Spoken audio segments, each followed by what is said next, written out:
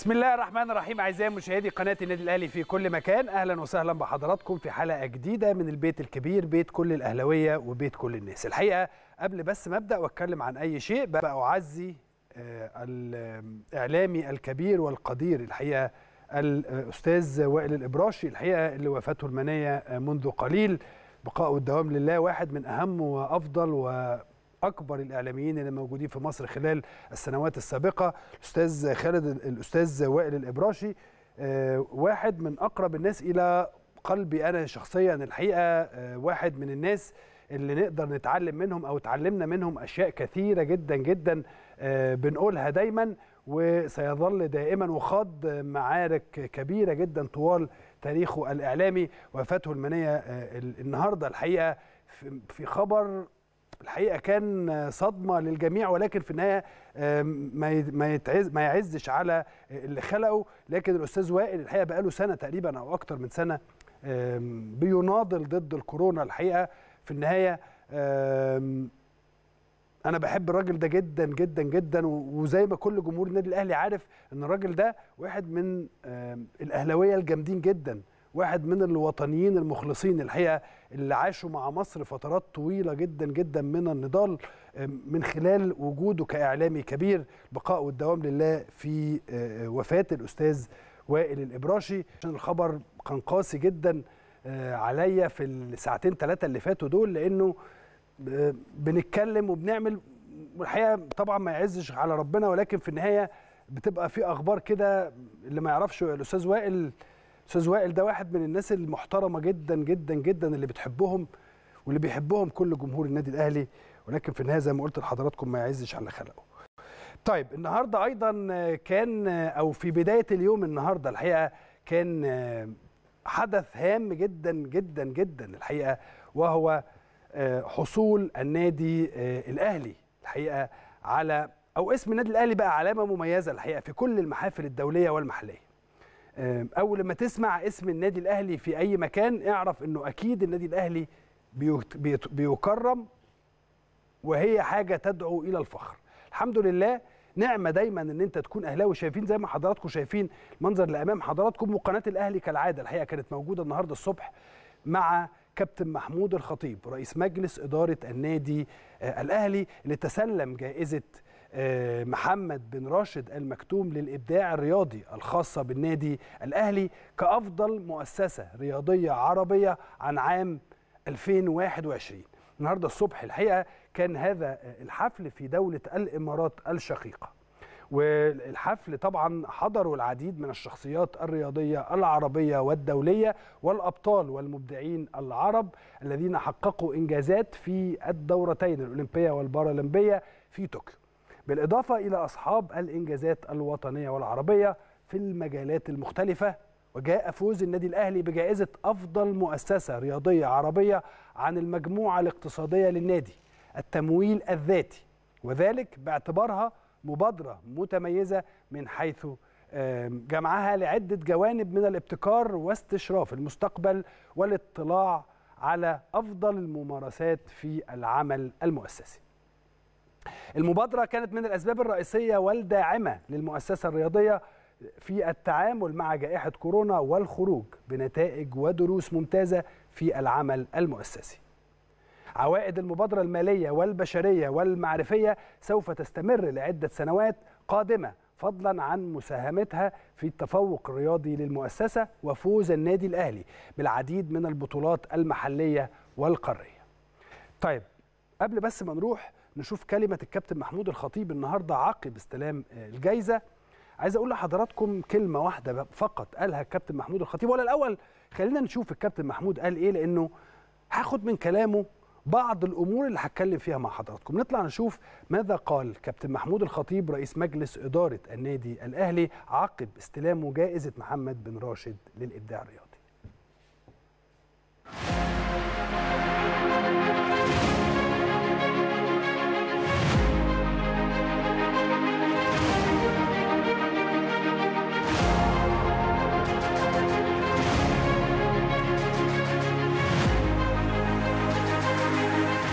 كريم يسرنا الآن دعوة سعادة محمود الخطيب رئيس مجلس إدارة النادي الأهلي المصري لإلقاء كلمة المكرمين فليتفضل مشكورا.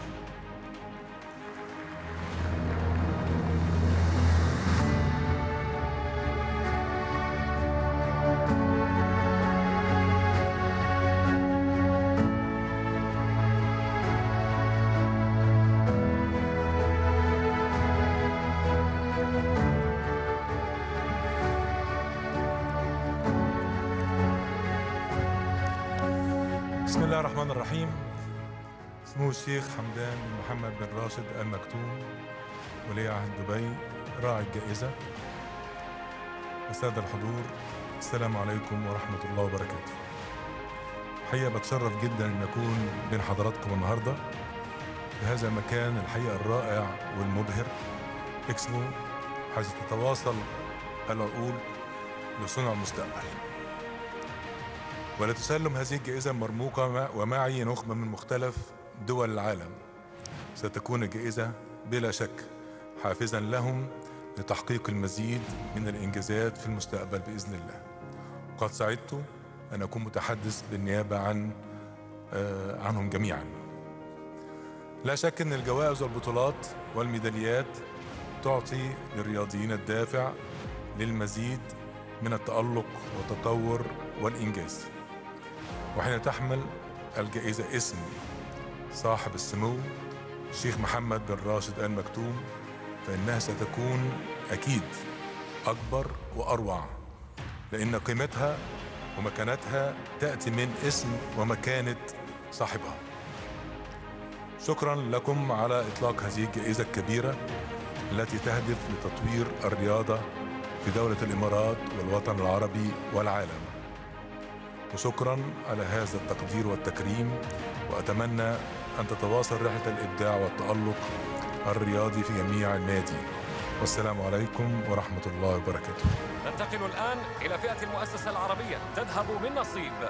النادي الأهلي للرياضة البدنية من جمهورية مصر العربية. يتسلم الجائزة سعادة محمود الخطيب رئيس مجلس إدارة النادي الأهلي. عن المبادرة المتميزة المجموعة الاقتصادية للنادي الأهلي التمويل الذاتي والتي شملت عدة جوانب من الابتكار واستشراف المستقبل.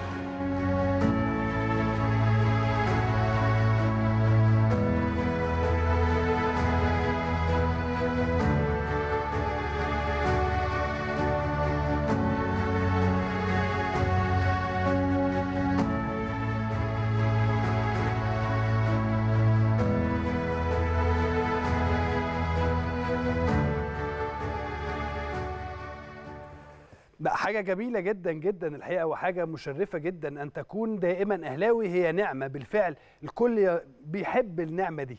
إن إحنا نبقى أهلاوية دي حاجة بالنسبة لنا بتخلينا دايما نبقى مبسوطين دايما نبقى فرحانين. قد إيه لما يبقى كابتن محمود الخطيب واقف في مثل هذا المكان الرائع الحقيقة واتكلم بهذه الثقة وبهذا الهدوء أعتقد شيء يستحق التحية ويستحق التقدير.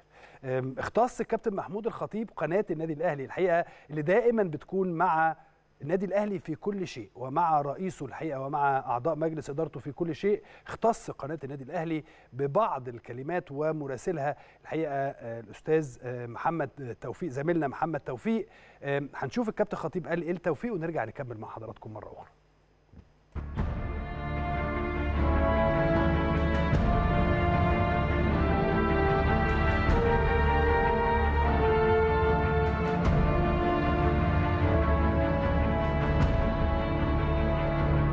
محمود ألف مبروك الفوز وبجد فخر لينا كلنا كأهلاوية فوز النادي الأهلي بهذه الجائزه وطبعا يعني شايفين الاستقبال والحفاوة وجميع الناس يعني وحبهم لكابتن محمود الخطيب. بسم الله الرحمن الرحيم. طبعا الحمد لله رب العالمين يعني. إذا كان الجائزه والتكريم دوت آه النادي الأهلي آه يعني بيسعى دايما إنه يكون في المقدمة في كل الأمور. آه النادي الأهلي بجماهيره واعضائه وكل مسؤوليه يستحقوا دايما إن هم يكونوا إنه كلهم يعني في في المصاف الأول إنه كلهم بيشتغلوا أو بيحاولوا يشتغلوا بالشكل اللي يعني يخلي ال ال الأمل دايما موجود في إنك تكون نمرة واحد يعني. لكن ده بيدي مسؤولية كبيرة جدا على النادي الأهلي وعلينا جميعا إن إحنا إزاي نحافظ على ده وإزاي بقدر الإمكان نوصل بإذن الله إن إحنا نبقى دايما على منصات التتويج في كل يعني المحافل مش بس الرياضيه حتى يعني النهارده المؤسسة الرياضية الأولى مش بس رياضة يعني. فالحمد لله رب العالمين. شكرا. الحمد لله. عن حب الناس يمكن جنسيات مش مصريين بس ده أنا شايف ناس إماراتيين وقطريين بيتسابوا على يعني في حد بيقول لنا إحنا كابتن معاكم في مصر إحنا لسه ع- نفسنا نشوفه فعايزين كلهم يصوروا مع حضرتك. الحمد لله رب العالمين دي نعمة من ربنا وربنا يحفظها من الزوال إن شاء الله. النادي الأهلي للرياضة البدنية من جمهورية مصر العربية. يتسلم الجائزة سعادة محمود الخطيب رئيس مجلس إدارة النادي الأهلي عن المبادرة المتميزة المجموعة الاقتصادية للنادي الأهلي التمويل الذاتي. طيب علشان نختم اليوم معاكم وما يحدث في الإمارات خلينا نروح لزميلنا الحقيقة محمد توفيق مراسل قناة النادي الأهلي من الإمارات. الحقيقة أيضا يقول لنا إيه اللي حصل النهارده من خلال وجوده في الإمارات. اتفضل يا محمد.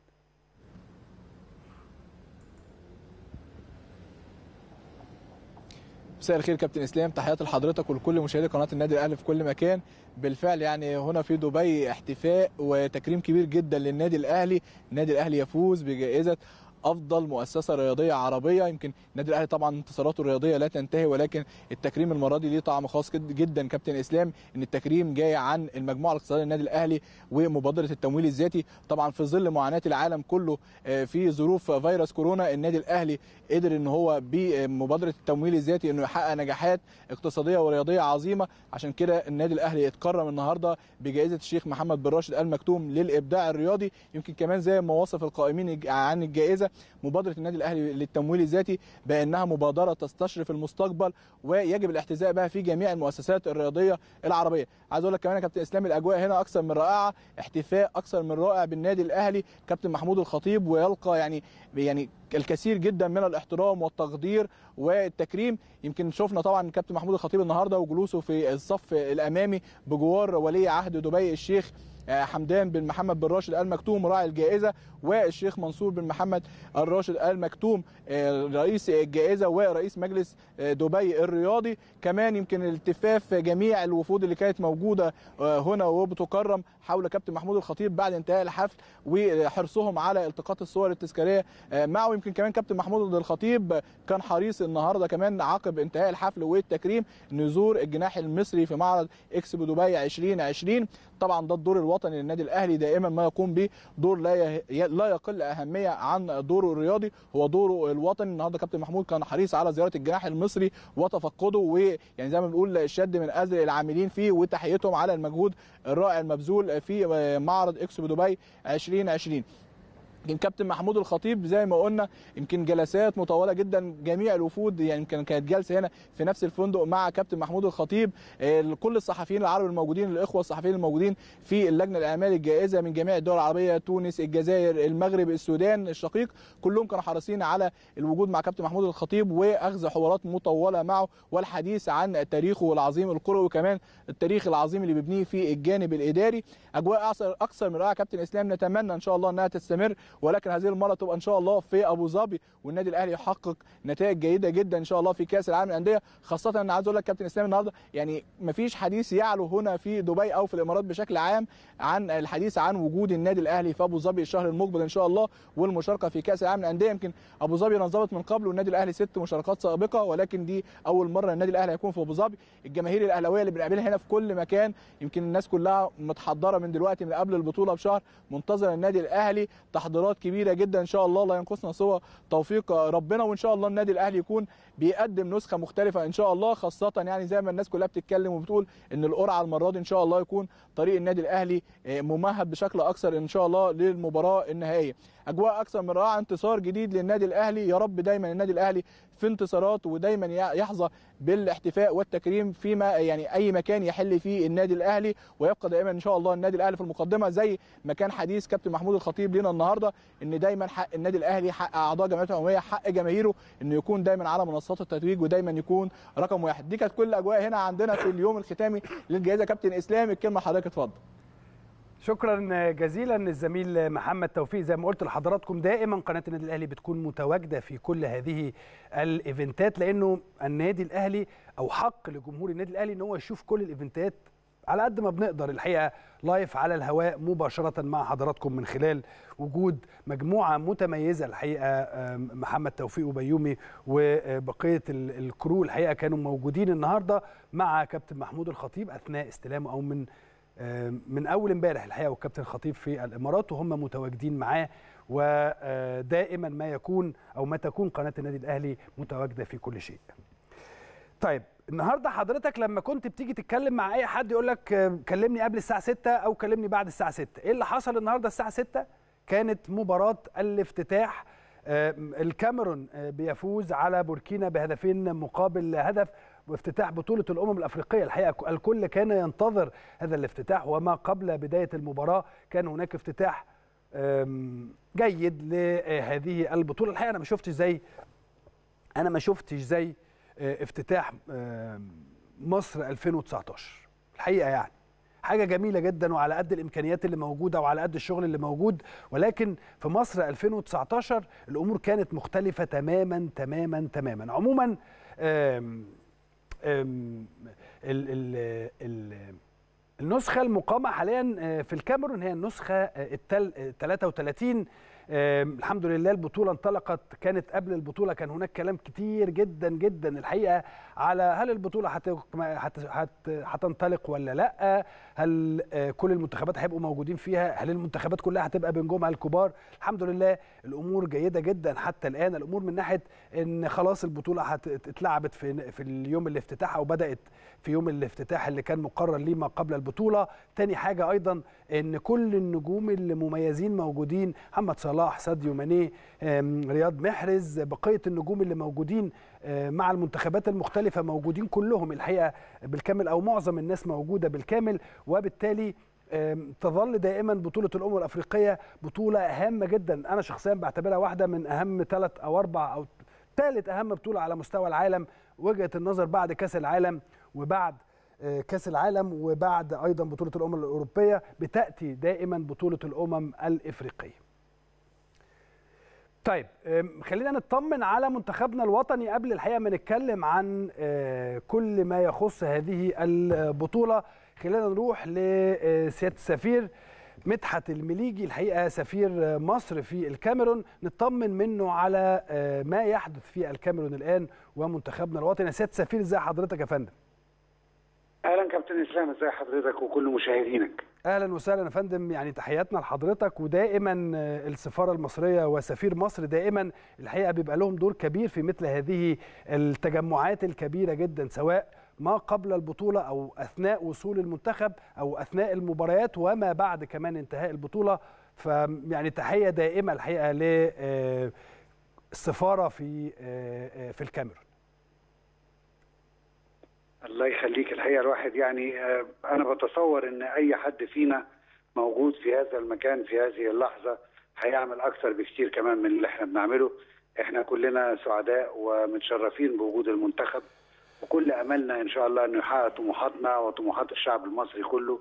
ويوم 6 فبراير بإذن الله نجده حاصل على الكاس وراجع مصر ومعه رايات النصر زي ما بيقولوا. آه فيعني وأنا الحقيقة متفائل لأن أنا لما بشوف آه الحماس والجدية والصرامة في القرارات وبشوف الدقة في التعامل آه والالتزام من كل اللاعبين وده أنا بقول لحضرتك وأنا بقالي معاهم بس يومين حسيت بده كله. فالحقيقة بحس إن مجهود مجهودنا كلنا وكل من يدعم سواء في الإعلام زي حضرتك أو الجمهور اللي بيشجع بقلبه ومستني نتائج مبارياتنا أو كسفارة بتحاول إنها تساعد فيما تستطيعه. كل يعني المنظومة كلها مع بعض بتكمل زي تروس الساعة. فالحقيقة النهارده يعني كان نفسي يكون معايا كل الناس وأقدر أوريكم الجدية في التدريب. النهارده كان أول تدريب للمنتخب والحمد لله الميعاد كان مقرر الساعة 5 بتوقيت الكاميرون اللي هي 6 بتوقيت مصر وده نفس توقيت المباراة علشان كمان نستعد للجو وطبيعة الجو والحراره اللي فيه من ناحية ومن ناحية الأضواء الكاشفه من ناحية ثانية عشان نبقى حاسين بنفس جو اللي هنلعب فيه المباراة إن شاء الله الأولى مع منتخب نيجيريا اللي هي بعد بكرة يوم الثلاث بإذن الله. الجدية على كل اللاعبين الكابتن كيروش عمل تقسيمة وكان كتير بيوقفها عشان بيوجه بعض اللاعبين لبعض المهارات اللي طالبها منهم أو بعض الخطط التكتيكية وعلشان كده حتى ال- الإعلام سمح له فقط ب 15 دقيقة في البداية للتصوير.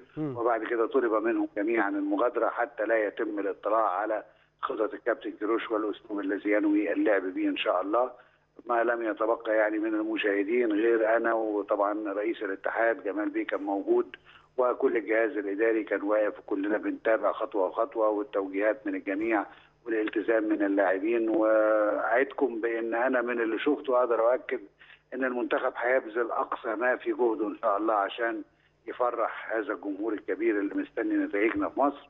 التوفيق من عند ربنا لكن المجهود من اللاعبين لا يمكن أن نقول على حد فيهم ان هو مش واخد الموضوع بنفس الجدية اللي إحنا مستنيينها منهم. فالحمد لله وربنا يوفق بإذن الله. يا رب يا فندم. سياده سفير آه، بعض الأسئلة السريعة جدا فيما يخص المنتخب.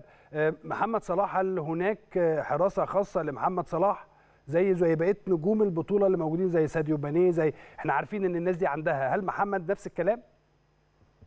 أنا عايز أقول لحضرتك حاجة. هو قد يكون في نوع من يعني المراقبة الدقيقة من ناس بلباس مدني. آه وبالتالي ما نقدرش إن إحنا نعرفها. لكن أوكي. اللي أقدر أقول لحضرتك عليه إن ال- الكابتن محمد صلاح موجود مع اللاعبين وملتزم معاهم والحقيقة أنا ما بحسش فيه إن هو بيحاول يميز نفسه بأي شيء آخر.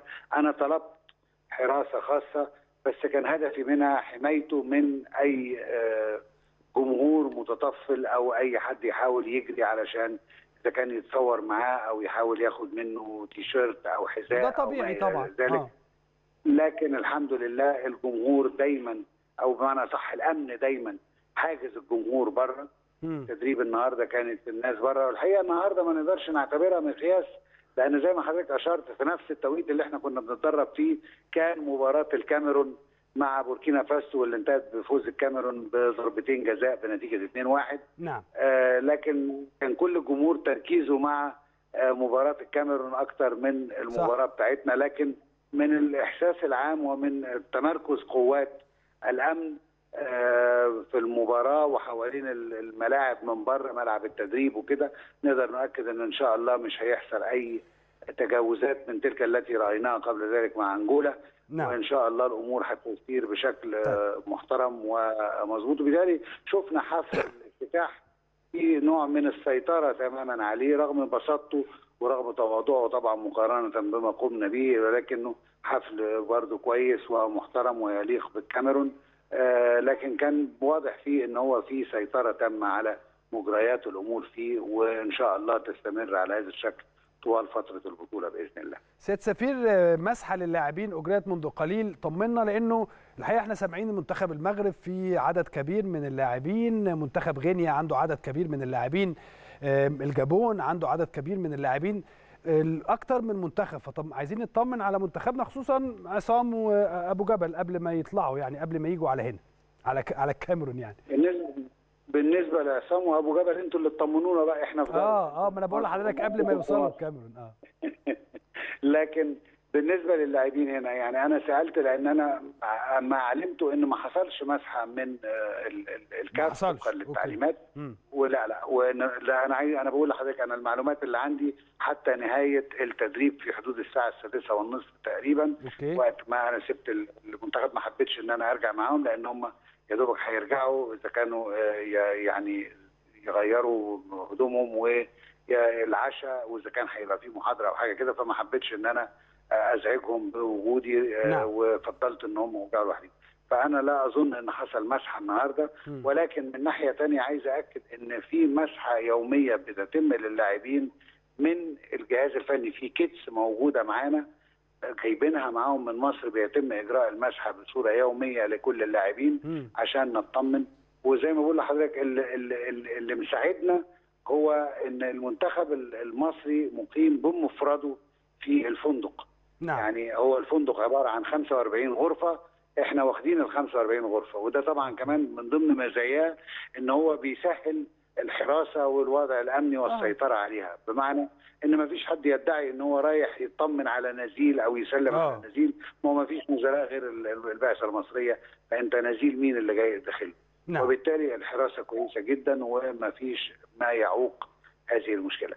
ال- ال- الموضوع بشكل عام ما فيهوش مشكلة حقيقية وإن كان في تواضع في مستوى خدمات كتيرة جدا إحنا لازم نكون فاهمين إن إحنا لما بنقارن صعب إن إحنا نقارن وإحنا غصب عننا بحكم ثقافتنا وخبرتنا بنقارن من اللي نعرفه اللي هو مصر مصر لا لا صعب جدا خليني يا فندم، صعب وأنا جدا. بقولها بمنتهى الفخر إحنا في مكان تاني خالص لا لا إحنا في حتة إحنا في تانية فندم منطقة. أخرى خالص ده حتى حفل الافتتاح حضرتك كنت في. التمرين وما شفتش حفل الافتتاح لا حفل الافتتاح حاجة بسيطة خالص وحاجة لطيفة آه، كويس طبعا وكل حاجة ولكن هناك فارق كبير جدا على الرغم من مصر في 2019 لما خدنا التنظيم كان قبل بداية البطولة. بخمس ست شهور.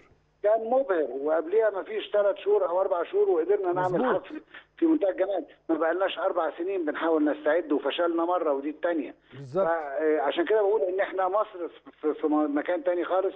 والحقيقة يعني بضيف هذا الكلام وأنا بقوله بمنتهى الثقة وال وال وال والصدق إن كمان مصر ال- ال- الحديثة اللي إحنا فيها النهارده لا وضع تاني خالص في تجديد في كل المرافق وفي يعني أنا بقول هذا الكلام وأنا مش موجود في مصر لكن كل من يسافر إلى مصر بيرجع ويقول لي آه، إيه اللي بيحصل ده إحنا كل مرة بننزل مصر وبي- ورجال أعمال من هنا بينزلوا يمكن كل أربع خمس شهور. بيقول لي كل ما أنزل مصر بلاقي حاجات جديدة كتيرة جدا فإحنا في وضع تاني خالص خالص خالص فصعب طبعاً. يمكن أقول طبعاً. كمان حرام نقارن أي مظبوط. دولة بما تقوم به مصر لأن إحنا الحقيقة باذلين جهد فوق الطاقة وبنحاول نخلي بلدنا في مصاف الدول العظمى وإن شاء الله. إحنا في الطريق وبنوصل لهذا سيادة سفير أخيرا قبل ما أسيب حضرتك. عايز أسألك عن ال- الحضور الجماهيري غدا آه، أو يوم المباراة يعني يوم الثلاث أيوة. الحضور الجماهيري بالنسبة للجالية المصرية الجالية المصرية في الكاميرون قد إيه أو متوقع حضور قد إيه طيب أنا هتكلم على محورين هنا إذا سمحت. المحور الأولاني بالنسبة للجالية المصرية الجالية المصرية عددها مش كبير وبالذات بعد جائحة كورونا الحقيقة أغلب الناس لأن حضرتك لو تتذكر في بداية الجائحة انتشرت أقاويل كتيرة جدا وكلنا كنا مرعوبين إن قال لك إن أفريقيا هي أكتر قارة. هتتبهدل من هذا نظرا لضعف البنية التحتية في المجال الطبي نعم. والخدمات الطبية المقدمة وإلى ولكن تبين من واقع الحقيقة الأمر نعم. إن إحنا في مكان أحسن بكثير قوي من الدول الأوروبية اللي الأرقام فيها يعني بتقفز قفزات مريعة بالإضافة إلى قيام العديد من الدول الأوروبية للمرة الثانية بإغلاق حدودها وبعضها في الطريق وبعضها بيعيد ال ال الإجراءات الاحترازية اللي كانت موجودة زمان وكان خففها فالحمد لله إحنا في مكانة ثانية خالص فيما يتعلق بهذا الموضوع. ولكن الأغلب ال- ال- ال- ال- الجمهور المصري أو ال- الجالية المصرية اللي موجودة هنا موجودة إما في العاصمة السياسية ياوندي أو في العاصمة الاقتصادية آه، دوالا مم. آه، المشوار بنتكلم فوق ال 1000 كيلو عشان يقدروا يجوا هنا. نعم. والطيران مش افيلابل بسهولة. والسيارات بتاخد يومين فصعب قوي الحقيقة على كتير من المصريين إن هم يجوا. وبالتالي أنا مش متوقع عدد كبير من الجالية يقدر يكون موجود معانا. يعني حضرتك هتبقى المشجع الوحيد. يمكن. لا ما أنا لسه ما أنا هكمل لك. لا ده أنا عندي شغل كويس والله. طيب. بحاول أعمله. اهو اتفضل يا فندم. آه، طبعا عدد كبير جدا هيبقى موجود في المباراة الثالثة بتاعت السودان بإذن الله لأنها في ياوندي زي ما حضرتك عارف. طبعا. اللي أنا بحاول أعمله الحقيقة وبتساعدني فيه الدولة بكل طاقتها إن أنا بحاول إن أنا أجيب رحلة طيران لهذه المباراة. طبعا الموضوع يعني النوايا كلها من الجانب المصري آه، جميلة جدا وزي الفل. وعلى راسها طبعا سيادة الوزير الدكتور أشرف صبحي نعم. بيحاول معايا تماما وبيساند ويدعم الفكرة بكل قوته قدر حبه لهذا المنتخب ولهذه الدولة. ولكن الموضوع فيه لوجستيات كثيره لا تتعلق فقط بمصر ولكن تتعلق كمان بالجانب الكاميروني مم. والإجراءات المطلوبة في السفر وتأشيرات السفر. وقدره المطار على استقبال طائرة من الحجم الكبير مم. حاجات كتيرة جدا جدا جدا وعشان كده أنا طلبت كمان يعني لأن طبعا لأن إحنا كلنا عارفين إن مفيش أقدر اقولها كده زي ما بنقول كده بالمصري مفيش خرم إبرة مم. ل- ل- ان حد يجي جروه ما فيهاش أماكن للإقامة لأي حد. أنا أنا بلف بقالي أكتر من بعد التدريب اللي انتهى الساعة ستة ونص لغاية دلوقتي أنا بلف على الفنادق لأن في بعض الزملاء الصحفيين طالبين مني إن أنا أشوف لهم أوضة عشان هيجوا قريب علشان يغطوا المباريات. بحاول أدور للناس على آه، أوضة مش لاقي. فطبعا لما أجيب 200 300 آه، فرد من الجمهور تحط فين؟ هيبقى مستحيل. عشان كده بنفكر إن إحنا هنجيب الرحلة دي بما يسمى بقى صد رده يعني يجوا الطيارة ست ساعات. أعتقد أو سبع ساعات. آه. أنا هعملها إن شاء الله. دع- دعواتكم بس معانا وإن شاء الله هنعملها. نعم. آه، لأن أنا بصراحة ما أحبش زي ما حضرتك قلتها صحيح تندرا ولكنها تبقى ما أحبش أكون المشاهد الوحيد والمشجع الوحيد. هذا المنتخب يستحق مننا. أكتر من كده وإن طبعا. شاء الله طبعا. هنقدر ننجح في الموضوع وبمساعدة الجانب الكاميروني معايا هنا ومقيم معايا في جروه كمان مدير مصر للطيران بنحاول مع بعض نظبط الأمور ال- بتصل بالسلطات الكاميرونية أنا بقالي يومين الحقيقة دايخ في هذا الموضوع لكن إن شاء الله بإذن الله ربنا هيكرمنا وهنقدر إن إحنا نعمله ويكون في أخبار كويسة. قريبا جدا إن شاء الله ربنا يديك الصحة يا سيادة سفير. التوفيق من عند ربنا إن شاء الله. ربنا يديك الصحة يا فندم وبنشكر حضرتك شكرا جزيلا على كل هذه المعلومات. سيادة السفير مدحت المليجي السفير المصري في الكاميرون. وزي ما حضراتكم شايفين يعني راجل مموت نفسه الحقيقة علشان جمهور مصر يبقى متواجد إن شاء الله في آه، المباراة بتاعت بعد بكرة. هنشوف إيه اللي هيحصل وسنظل دائما نتابع مع سيادة السفير هذا الموضوع لأنه موضوع هام جدا. زي ما قلت لحضراتكم كان النهارده في افتتاح هام آه، لبطولة كأس الأمم الأفريقية. افتتاح بسيط آه، لطيف يتناسب مع الجو العام ويتناسب مع اللي كان بيحصل خلال الشهر ونص ولا الشهرين اللي ما قبل افتتاح هذه البطولة. لكن في النهاية المباريات ابتدت بسخونة كبيرة جدا. بوركينا أحرزت الهدف الأول آه، ضد منتخب الكاميرون ثم ركلتي جزاء. الحقيقة آه، أحرزتهم آه، أو أحرزهم منتخب الكاميرون ليفوز في هذه المباراة بهدفين مقابل هدف. ثم في المباراة الثانية المنتخب الأثيوبي ومنتخب الرأس ال- الأخضر كاب فيردي وكانت النتيجة 1-0 وانتهت النتيجة بهدف لكاب فيردي. وبالمناسبة منتخب إثيوبيا اتطرد منه آه، الاستوبر بتاعه في الدقيقة 6 أو 7 من بداية المباراة. بعد أخطأ الحقيقة في لعبة كان عايز يرقص المهاجم المهاجم خدها وراح فخبطه بعد الرجوع للف- للفار الحكم آه، حكم المباراة آه، إدى كارت أحمر لمدافع المنتخب الإثيوبي. ولكن المنتخب الإثيوبي لعب مباراة جيدة الحقيقة من الناحية الفنية. وبالتالي مباراتين آه، أعتقد إن البطولة بادئة قوية جدا جدا في آه، المباراتين آه، الأولى الأولى الأولى والثانيه بكرة إن شاء الله في هت- هتلعب على على كل المجموعات. المجموعة الأولى آه، هتبقى السنغال وزيمبابوي والمغرب وغانا ثم غينيا وملاوي وجزر القمر والجابون. دي الأربع مباريات إن شاء الله اللي هتلعب غدا إن شاء الله. آه، في آه، بطولة كأس الأمم الإفريقية الساعة 3 السنغال وزيمبابوي. الكل ينتظر آه، السنغال السنغال هيعمل إيه؟ منتخب آه، أو منتخب قوي جدا وأحد المرشحين الكبار للوصول للمباراة النهائية والفوز بهذه البطولة. هيلاعب زيمبابوي الساعة 3 عصر عصرا ثم في الساعة السادسة آه، مباراتي المغرب. وغانا مباراة من العيار الثقيل وغينيا وملاوي الساعة 6 أيضا ثم في النهاية في آه، تمام الساعة التاسعة جزر القمر ستلاقي الجابون. كل المباريات زي ما حضراتكم شايفين خلال 10 أيام اللي جاية الساعة 3 والساعة 6 والساعة 9 عشان كده إحنا أجلنا ميعاد البرنامج ساعة. دايما برنامج البيت الكبير هتلاقوه مع حضراتكم طوال الأسبوع من الحد للأربع الساعة 11 بالليل. من الحد للأربع الساعة 11 بالليل إن شاء الله هنكون مع حضراتكم طول فترة الأمم الإفريقية أو مباريات الأمم الإفريقية. طيب الحقيقة عايزين نطمن برضو على المغرب. حاولوا تك- تكلموا لنا الناقد الرياضي الأستاذ حمزة آه، شتاوي يطمنا برضو على المغرب. 15 لاعب تخيل حضرتك إن أنت بتسمع أخبار عن كورونا إن في داخل المنتخب المغربي دي تقارير حتى الآن يعني وليست أكيدة هي إن 15 لاعب داخل المنتخب المغربي عندهم كورونا. هل دي تقارير صحيحة ولا لأ؟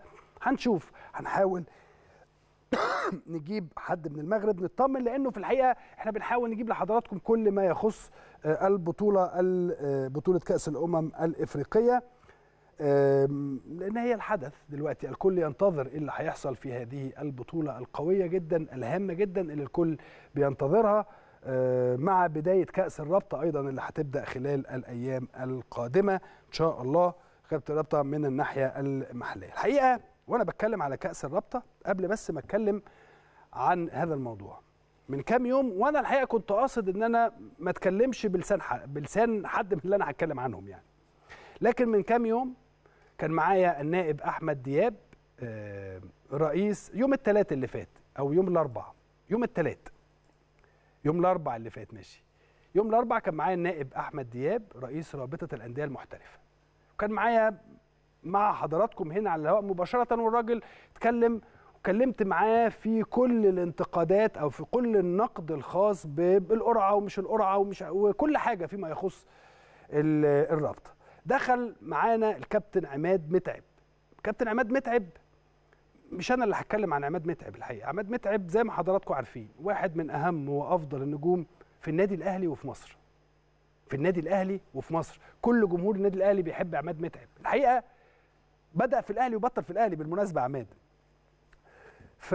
فعماد متعب قبل ال... إحنا دايما بنتكلم إحنا أصدقاء يعني أنا وعماد عماد أخويا الصغير يعني فبنتكلم كتير و- وكلمت مع النائب أحمد دياب وكانوا كان هناك كلام عن أحد الأشخاص أو أحد مقدمي البرامج الرياضية خلاص اللي موجودين في أحد القنوات آه، المصرية ليست قناة النادي الأهلي طبعا آه، كابتن عماد كان بيقول لي إن هو كان بيتكلم معاه وكذا وكذا وكذا وفهمه كل حاجة وقال له تمام وكل حاجة ولكن في نفس الوقت طلع انتقد نقد غير بناء غير بناء. هو قال لي ما عنديش مشكلة إن كل الناس تنتقد وده كان كلامي برضو مع آه، النائب أحمد دياب. فالحقيقة لما كابتن عماد دخل أنا شخصيا كنت عارف هو بيتكلم أنا ما أقدرش طبعا أقول هو كان بيتكلم على مين ولكن أنا كنت عارف هو بيتكلم على مين وكنت عارف آه، إنه لا يقصد أي حد من جمهور النادي الأهلي. وكنت عارف والحقيقة عماد لما يخش يتكلم في قناة الأهلي تحديدا دايما دايما الناس بتبقى عارفة قد إيه عماد آه، متعب بيحب النادي الأهلي وبيحب هذا الكيان. واحد عاش وتربى وهيعيش وحياته كلها حتى لو بيشتغل في العمل العام فلازم يبقى دايما موازن في الأمور. ولكن هو حبه يعني حبه بقى يعني ده حياته. دي حاجة بتاعت ربنا مش حاجة تانية. ف... فالناس عارفة إن لما عماد يخش يتكلم هيتكلم أكيد مش على حاجة تخص النادي الأهلي. أو ممكن يكون آه، متضايق من حد معين حاجة معينة اتكلم عنه. فخلينا نروح لكابتن عماد متعب بنفسه. هو يقول هذا الكلام أو يعني يقول الكلام اللي هو عايزه. طبعا نائب رئيس رابطة الأندية المحترفة. كابتن عماد ازي حضرتك؟ كابتن اسلام الأخبار؟ ازي حضرتك؟ عامل إيه؟ معلش أنا يعني أنا ساكت على الموضوع ده بقالي ثلاث أيام ولا أربع أيام لأنه أنا الحقيقة ما تصورتش. ولكن لما لقيتك امبارح أو أول امبارح اتكلمت مع كابتن سيف زاهر وقلت أو شرحت الموضوع بشكل رائع الحقيقة إن هناك البعض بيحاول إن هو يعمل وقيعة ما بين كابتن عماد متعب وجمهور النادي الأهلي. فاضطريت إن أنا أتكلم. أنا آسف جدا يعني. لا لا طبعا يا كابتن. بص في البداية أول حاجة أنا هعتذر عن التصريح اللي أنا قلته عشان ما حدش يزعل مني. أنا ما بحبش حد يزعل مني خالص. نعم. أول حاجة. ولو كان ده وقت عصبية أو نرفزة. فأنا بعتذر عليه. محترم طول عمرك. رقم ربنا يخليك يا اسلام آه، رقم اتنين أنا ما عنديش مشكلة إن أي حد ينتقدنا أو أي حد يبقى عنده اعتراض على حاجة بنعملها لأن ما فيش حد فوق النقد. نعم. الفكرة كلها إن عندي مشكلة في فكرة النقد لمجرد الهدم. نعم. النقد لمجرد إن أنا أبوظ حاجة بتتعمل هي ممكن تبقى كويس مم. بس هي دي النقطة النقطة الوحيدة.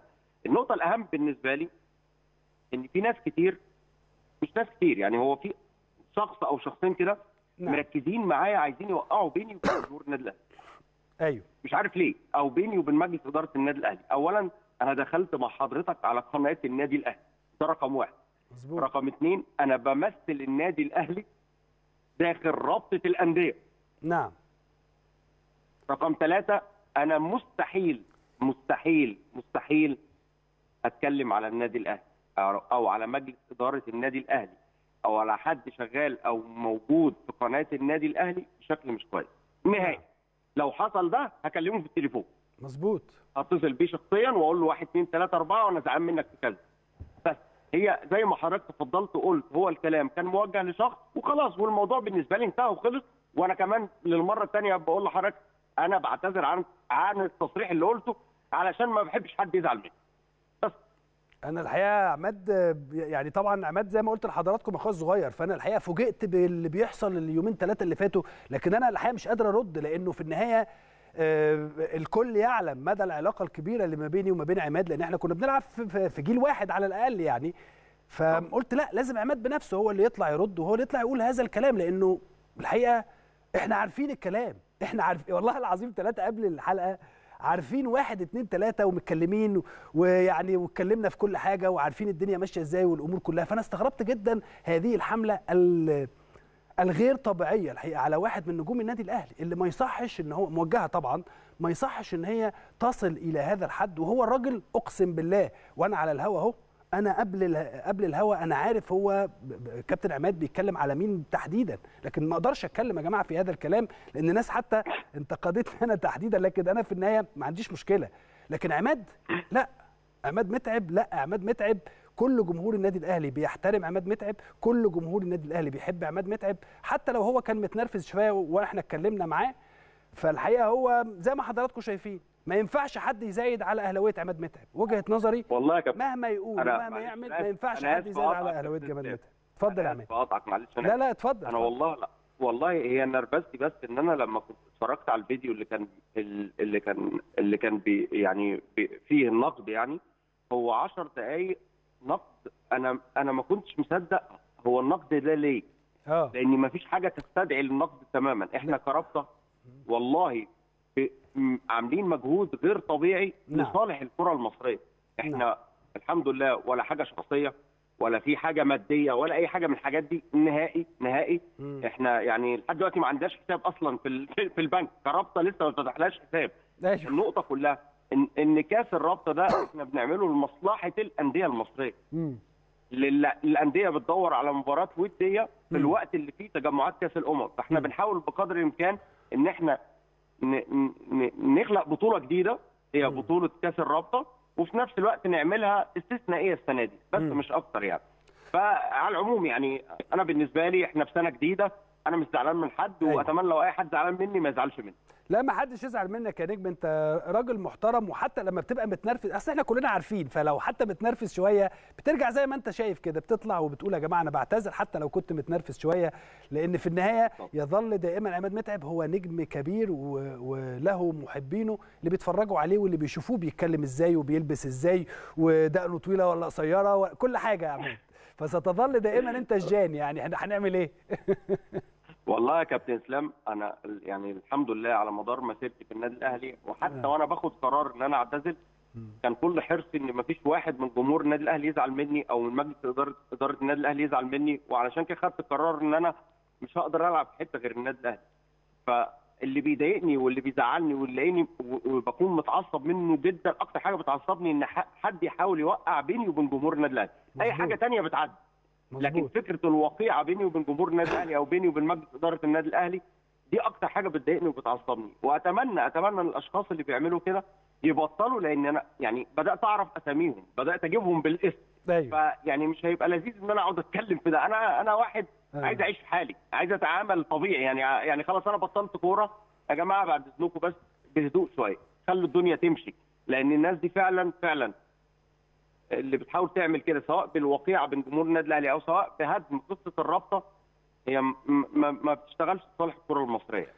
أنا أنا متأكد إن عمرها ما هتحصل ان يكون هناك وقيعة حتى لو حصلت اليوم ولا اتنين لكن يظل دائما عماد متعب في قلوب كل الأهلاوية بدون استثناء عماد. طبعا. يعني أنا بقول لك الكلام ده وأنا من محبين عماد متعب وبتفرج عليك فيعني يعني أنا سعيد جدا شرف ليا يا كابتن إسلام والله إن أنا. لعبت لا أنا شرف ليا إن أنا لعبت مع حضرتك والله العظيم ويعني. آه، استفدنا كتير جدا من من خبراتك وخبرات الجيل ده. بالكامل فأنا اللي شرفت باللعب معاك والله يا كابتن ربنا يخليك ليا يا عمدة وربنا يوفقك وهنطلع ننتقدك بس هكلمك في التليفون الأول أقول لك أنا بنتقد في كذا كذا أي كذا عشان أفهم. أي وقت يا كابتن. حبيبي ربنا يخليك. أنا بشكرك جدا النجم الكبير كابتن عماد متعب نائب رئيس رابطة الأندية المحترفة وزي ما حضراتكم شفتوا أنا كنت ساكت بس الأربع خمس أيام اللي فاتوا من يوم وجود النائب أحمد دياب هنا لغاية دلوقتي لأن بعض الحقيقة هخليها ممن لا يشجع النادي الأهلي من الناس اللي ما بتحبش النادي الأهلي الحقيقة حاولت توقع حتى ما بيني وما بين جمهور النادي الأهلي إن أنت ساكت هو بيشتم آه، كابتن عماد متعب بيشتم أسامة حسني ولا بيشتم أسامة حسني ولا ولا سمع أساسا الكابتن أسامة وبيك. كابتن كل واحد له وجهة نظر على فكرة. هنا في القناة إحنا ماشيين كده إن كل واحد له وجهة نظر يطلع يتكلم بالطريقة اللي هو عايزها وبالأسلوب اللي هو عايزه. لأن إحنا عارفين كلنا إن أسلوب وطريقة النادي الأهلي كلنا دايما بنتبعها. كلنا. في القناة بنتبعها ولكن كل واحد بطريقته. ممكن أسامة عايز يوصل حاجة وصلها فلان عايز يوصل حاجة بيوصلها بطريقة تانية ولكن في النهاية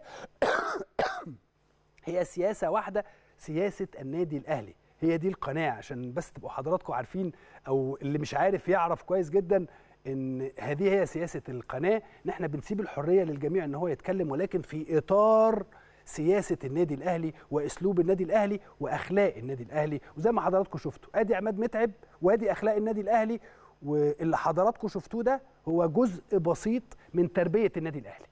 عماد متعب ده جزء بسيط من تربية النادي الأهلي. حس إن هو غلط وصوته عالي فاعتذر. اولا. ثانيا قال لك أنا ما اتكلمتش على مجلس إدارة النادي الأهلي ما اتكلمتش على جمهور النادي الأهلي ما اتكلمتش على أي حد شغال في قناة النادي الأهلي لأن زي ما قلت لحضراتكم إحنا عارفين قبل قبل التليفون عماد كان بيتكلم على مين. واتكلمنا في التل... يعني مش عايز أقول لحضراتكم حاجات أنا ما ينفعش إن أنا أقولها لكن في النهاية آه، أدي عماد متعب نجم النادي الأهلي ونجم مصر الحقيقة وسيظل دائما في قلوب كل الأهلاوية ودي كلمة أنا بقولها حتى لو كانوا زعلوا منه. أعتقد بعد الكلمتين اللي كابتن عماد قالهم الموضوع انتهى تماما. طيب سألنا الناس آه، حالات كورونا هتأثر إزاي؟ آه، أو كورونا كيف ستؤثر كورونا على مستوى بطولة كأس الأمم الأفريقية؟ طلعنا سألنا الناس وبعد كده هنطلع فاصل وبعد هذا الفاصل هنستقبل عندي النهارده جزئين الجزء الأول من هذه الحلقة. هيكون معايا ناقدنا الرياضي الكبير الأستاذ عصام شلتوت وناقدنا الرياضي الكبير الأستاذ أيضا خالد الإتربي. ولكن نطلع نشوف ماذا قال ال- جمهور آه، مصر وتوقعاتهم لما هو قادم في هذه البطولة. وأيضا إيه رأيهم في موضوع كورونا؟ هل الكورونا ستؤثر بشكل سلبي أو إيجابي على هذه البطولة ولا لا؟ نطلع نشوف هذا التقرير وبعد التقرير فاصل وبعد الفاصل أستاذ عصام شلتوت الأستاذ خالد الاتربي أهلا وسهلا بحضراتكم مرة أخرى أعزائي المشاهدين. خلوني أرحب بضيوفي ونجومنا الكبار ناقدنا الرياضي الكبير وأخونا الكبير الحقيقة الأستاذ عصام شلتوت. إزيك يا أستاذ عصام؟ العفو يا كابتن. كل سنة وحضرتك طيب الحمد لله. ربنا ما يخليك شفتكش وحضرتك بقالي طيب. سنة. كل سنة آه بقالنا طيب. سنة صحيح. من الأسبوع اللي فات. صحيح. آخر 12 آه. وأيضا ناقدنا الرياضي الكبير الاستاذ خالد الاتربي إزيك يا أستاذ خالد؟ إزيك يا ابن سلام؟ عامل إيه؟ الحمد لله تمام. كله كويس؟ كله كويس الحمد لله. الحمد لله. الحمد لله. أعتقد متعب شخصية محترمة جدا يا أستاذ عصام. جدا. ومن الناس اللي حضرتك عشرته سنين 20 طويلة. 25 سنة. طبعا طبعا. آه، وهو شخصية تستحق الاحترام. الجان جلاد الحراس آه. آه. المتعب ده كرويا انسانيا. عماد متعب من لعيبة الكورة اللي عمره ما تمسكن وعمره ما قام بأي من الأداء اللي يلفت نظر الناس وبالتالي طول الوقت هو راجل جدع وفي نفس الوقت بيعيش حياة مستقرة وشيك ومحترم محدش يقدر يقول عليه تلت التلاتة كامل الحقيقة طيب قبل لأنه مهم جدا خلونا نروح ل آه، زميلنا وناقدنا الرياضي آه، أيضا الأستاذ حمزة شتوي من المغرب لأن إحنا الحقيقة سمعنا إن المغرب 15 حالة كورونا. 15. تقارير بعض التقارير قالت هذا الكلام. عايزين بس نطمن على ال- المنتخب المغربي. أستاذ حمزة ازي حضرتك يا فندم؟ وكل عام وانت بخير. يعني إن شاء الله سنة سعيدة آه، جديدة وسعيدة على الجميع. آه، طمنا على المنتخب المغربي وعن صحة هذه التقارير. أهلا بك آه، زميلي العزيز إسلام. واهلا بضيوفك الكرام وبكل مشاهدينا ومتابعينا. أكيد آه، التقارير اليوم آه، زميلي اسلام القادمه من الكاميرون تؤكد على أنه هناك إصابات في صفوف المنتخب الوطني المغربي في صفوف اللاعبين وكذلك في صفوف ال- البعثة أي الوفد المرافق للعناصر الوطنية للكاميرون. لكن حتى الآن آه، التقارير يعني حسب آه، الزملاء المتواجدين في الكاميرون والذين حضروا الحصة التدريبية للمنتخب الوطني المغربي اليوم يؤكدون على انه ربما إصابتين إيجابيتين فقط هما الموجودين في صفوف المنتخب الوطني المغربي في الخط الهجومي. نتحدث عن اللاعب أيوب الكعبي ونتحدث كذلك عن متوسط الميدان آه، برقوق. بالنسبة للحدادي لاعب إشبيليا المسحه الأولى جاءت إيجابية لكن المسحه الثانية جاءت سلبية. باقي التقارير التي تتحدث عن آه، إصابة 15 شخص. حتى الآن الجامعة الملكية المغربية لكرة القدم آه، آه، لم تخرج بأي بلاغ رسمي يؤكد على ان هناك إصابات. لكن عموما عموما التقارير تؤكد على هن- هناك إصابات منهم إصابتين إيجابيتين وحالتين مؤكدتين ربما في صفوف لاعبي المنتخب الوطني المغربي حسب الزملاء ال- القريبين جدا من بعثه المنتخب الوطني المغربي هناك في الكاميرون. آه، لا لو على- لو جت على حالتين ما فيش مشكلة يعني طبعا نتمنى السلامة للجميع ولكن بعد ما سمعنا 15 نسمع حالتين أعتقد إن ده يعني أرحم بكثير يعني طبعاً. أرحم آه، بكتير طبعاً. يعني من إن إحنا نسمع ربنا يعافيهم يا 15 رب. لاعب آه، ولكن أيضا على سبيل الإصابات هل بالفعل بدر بنون آه، مصاب أو أصيب اليوم في التمرين المنتخب المغربي؟ أكيد هو اولا أنا قلت حالتين في صفوف اللاعبين عن نتحدث عن اللاعبين أما الوفد المرافق هناك حديث عن إصابة في الوفد المرافق لكن لا أعتقد على أنه هناك 15 حالة في اللاعبين هناك إصابتين مؤكدتين لأنه أخوي إسلام أنت تعلم وأنت سيد نعم. العارفين انه الفرق ما بين التقارير الرسمية و يعني التقارير الإعلامية التي تتضارب هنا وهناك بالنسبة للإصابات فعلا بدر بنون تعرض لإصابة لكن تبدو عموما على أنها آه، طفيفة. آه، كذلك يوسف أنصيري مهاجم نادي إشبيليا ال- ال- ال- ال- الاسباني لا زال يتدرب ويكتفي بتدريب انفرادية لأنه راجع من ال- ال- الاصابه آه، عموما آه، يعني نتحدث عن إصابتين بح- في حالة كورونا ونتحدث عن إصابة ربما طفيفة للمدافع بدر بانون وكذلك ليوسف انصيري وهناك تقارير أخرى تؤكد على أنه آه، مايي المهاجم الشاب والواعد في صفوف المنتخب الوطني المغربي كذلك أصيب في الحصة التدريبية آه، ما قبل الأخيرة بعد اصطدام مع احد زملائه في المنتخب. آه، بكرة مباراة صعبة جدا المنتخب المغربي أمام المنتخب الغاني. مباراة ولقاء صعب جدا يا أستاذ حمزة. أكيد. اولا زميلي الإسلام آه، آه، نتمنى كل التوفيق لأسود الاطلس والجميل أننا آه، كعرب يعني هناك وحدة كبيرة. المغربي يتمنى التوفيق للفراعنه والمصري يتمنى التوفيق لأسود الأطلس وكذلك التونسي والجزائري.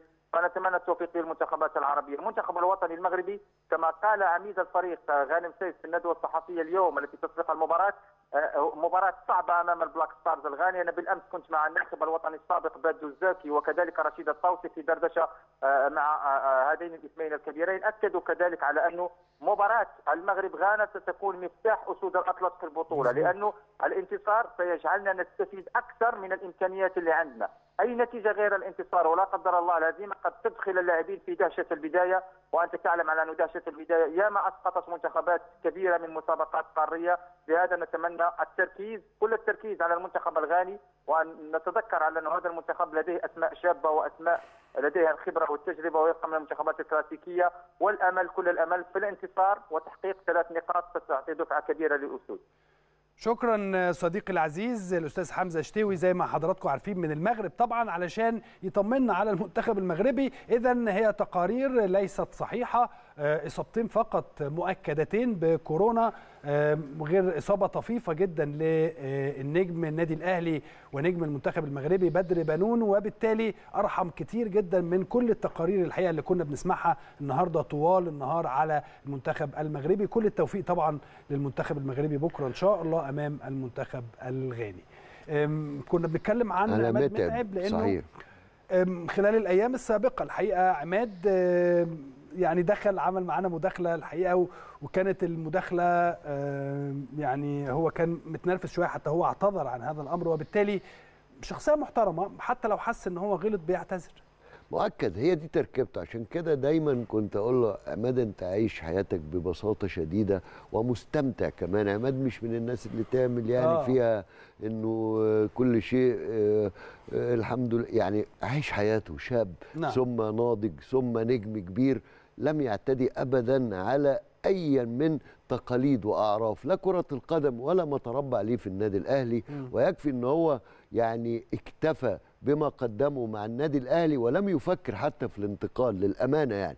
وبالتالي محدش يجرؤ غير إنه يقول إن عماد متعب بيصعب عليه نفسه بالمعنى الدارج إحنا المصريين نقولها من كتر ما أنا شديد التأدب مع الناس حريص على حقوق الناس بيصعب عليا نفسي بس ده الحقيقة بعد ما بيفيد بالكيل يعني مم. دايما عماد ما بيستهوش الخروج للرد كابتن إسلام وأنت آه. عارفه كويس نعم. لكن ساعات بيفيد الكيل كما حدث مع عماد يعني آه، أستاذ خالد أيضا آه، لما نيجي نتكلم عن دور الرابطة الحقيقة واضح الفترة اللي فاتت إن هو له دور لهم دور جيد الحقيقة ممكن يتم انتقادهم في بعض الأمور ولكن في النهاية آه، يجب الوصول إلى آه، صيغة للتفاهم لأنه الرابطة عاملة شغل جيد ده ما حدش يقدر ينكر ده أنا واحد من الناس كنت في الأول بالظبط آه بنتقد ده وكنت شايف إن آه إن اتحاد الكرة لن يسمح ليهم أو لن يترك لهم آه اللجنة بقى المساحة آه، آه. ال- السابقة يعني آه. لن يترك لهم المساحة إن هم إن هم هم نجحوا في آه انتزاع وأنا أقصد الكلمة انتزاع آه،. مساحتهم وصلاحياتهم آه، قدروا إن هم آه، يبرهنوا ويثبتوا ده على أرض الواقع آه. آه، سواء في شكل المسابقة سواء في الانتظام سواء في آه، التصوير سواء في أمور كتيرة.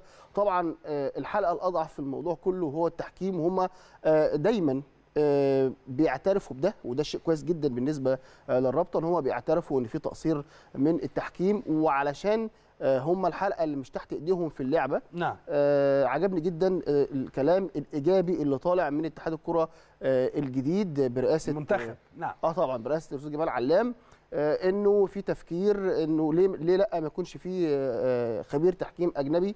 هو اللي يكون رئيس للمنظومة آه لتطوير المنظومة علشان طول الفترة اللي فاتت. كان إحنا جربنا كل الأسماء. نعم. وكل الأسماء آه، مع احترامنا الكامل كان في آه، خلاف عليهم. إنما أنا واحد من الناس شايف إن أسوأ مرحلة عدينا بها تحكيميا هي المرحلة الماضية سواء الموسم اللي فات أو الموسم أو اللي اتلعب في الموسم ده. فاذا إنك تدور على الأزمات سواء الرابطة وتحاول تحلها ويكون في تفاهم في تصريحات ما بين الاتحاد الكرة الجديد أنا شايف إن في آه، محاولات للانسجام والتناغم سواء ال- ال- التصريحات اللي طالعة آه، جديد من اتحاد الكرة والتصريحات اللي طالعة من رابطة الأندية. لا بيبين إنك آه، ويبين كمان إن الرابطة هتنجح أكتر. لأنك لما تكون عندك أنت بتنتزع صلاحيات مع لجنة مش عايزاك يكون ليك دور وتقدر تقدم ده فلما يكون معاك تعاون مع اتحاد كوره منتخب ويكون في رابطه عايزة تعمل ده أعتقد إن النتائج هتبقى أفضل خلال الفترة الفترة الجاية إن شاء الله كابتن إسلام هو طيب. بس في بعض اتفضل. التحفظات على الرابطة عشان يعني أنا ضد التوقيع على بياض يعني نعم. لاي حد وبالتالي عليهم بقى إذا كملنا على اللي قاله الأستاذ خالد اتربي صديقي الغالي يعني إنهم ينتزعوا ما هو حق للرابطة لأن إحنا وثقنا في إنه الموجودين عندهم يعني بيقولوا إيه فيجن على الدنيا رؤية على الدنيا. نعم. وعارفين كويس قوي إنهم سابوا حاجات ويا دوب خدوا بعض الحاجات. لم ي... لم يستكملوا بعد طريقهم. التحكيم حق أصيل لا تفاوت حوله. فكرة لجنة المسابقات بالعقوبات بكله بكله. معرفش التفاوت طال. يمكن كان ده إيه، محاولة. يعني آه. من اللجنة.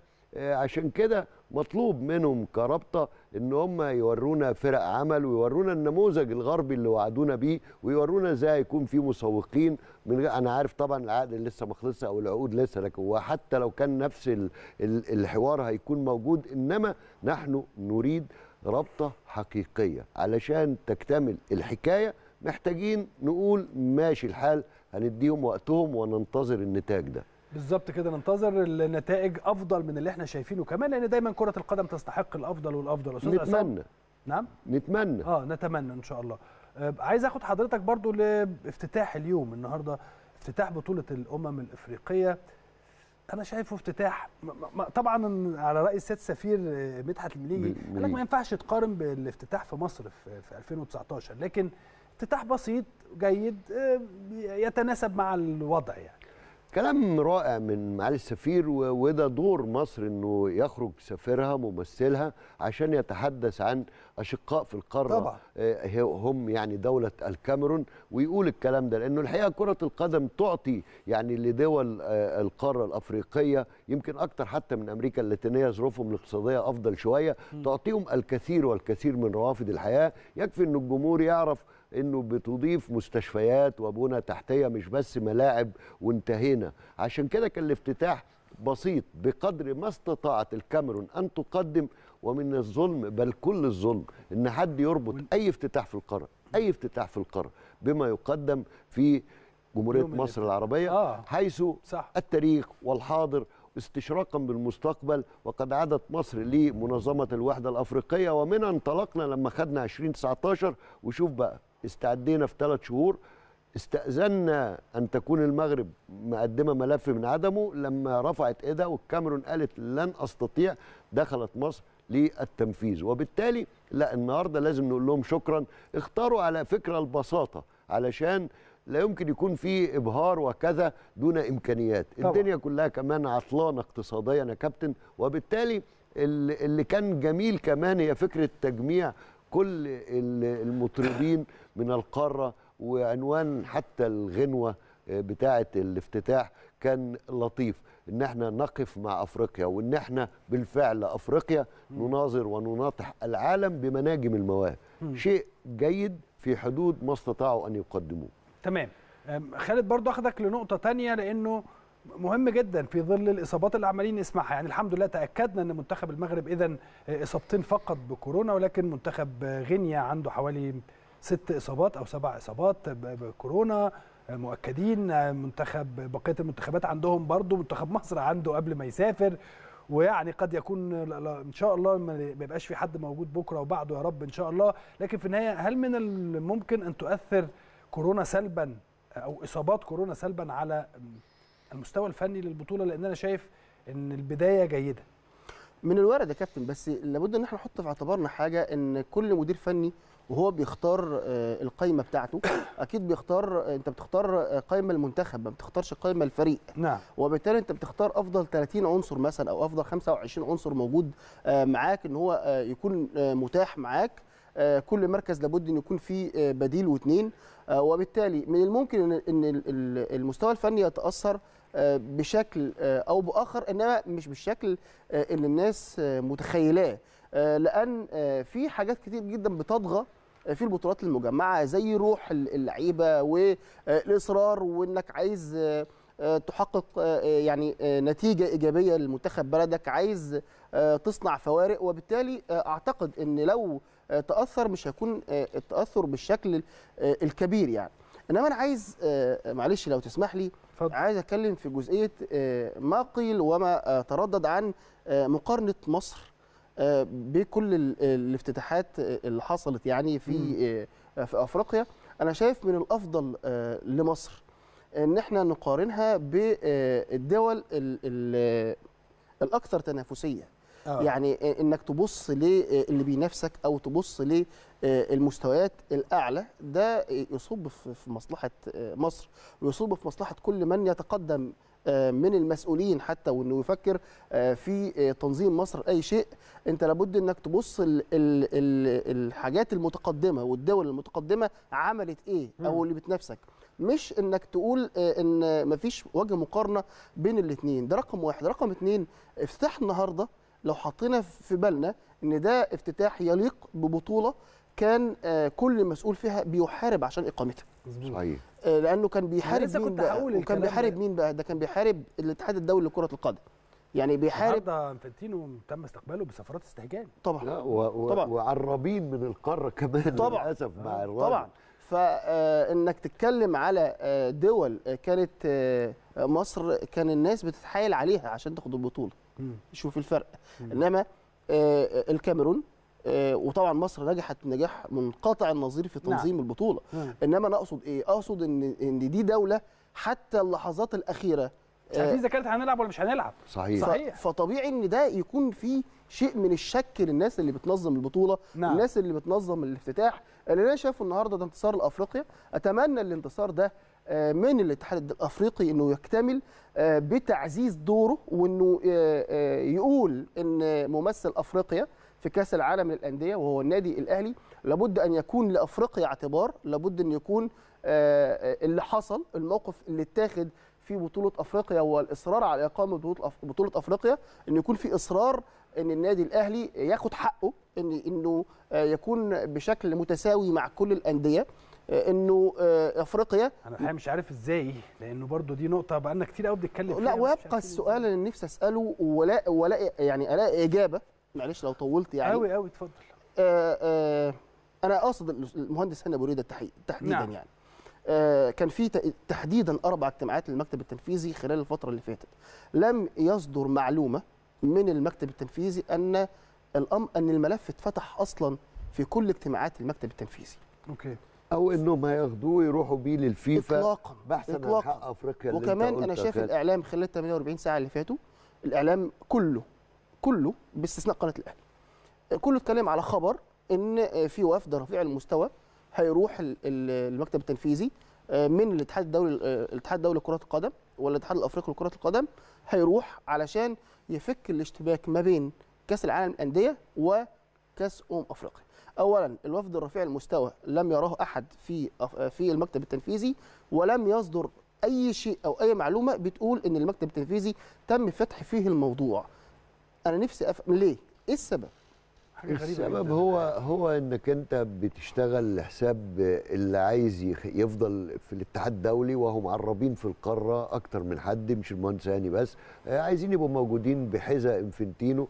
الحماية أوروبية خلي بالك واحدة من نقاط القوة إن إيتو قال لهم قد أجمع من القارة من يستلهم إنه الدوريات بتاعتكم نبقى في غير حاجة لا وأستطيع بنجوم القارة جلب مستثمرين لملاعب وشوية الحاجات اللي بتعيشوا بيها وتبقى دورياتنا وتبقى بطولات القارة السمراء منافس. صحيح ده عايز سنين لكن لو وقف النجوم وعملوا ده ممكن يبقى مزعج جدا كما البلاد يعني اللي بتنمو وبيكون التاني مش عايزها تنمو بالبلد يعني. وبالتالي هنا بقى انت النهارده بتقول ده في نفس الوقت اللي في اتجاه آسيا ولأنه البطولة هتكون في آه، الإمارات بتلاقي الناس هناك مش عايزة البطولة غير في ابهى يعني صورها. مش عايزة البطولة غير بكل النجوم. مش عايزة البطولة غير وهي تدر أرباح. وايه ده هنا مربط الفرس.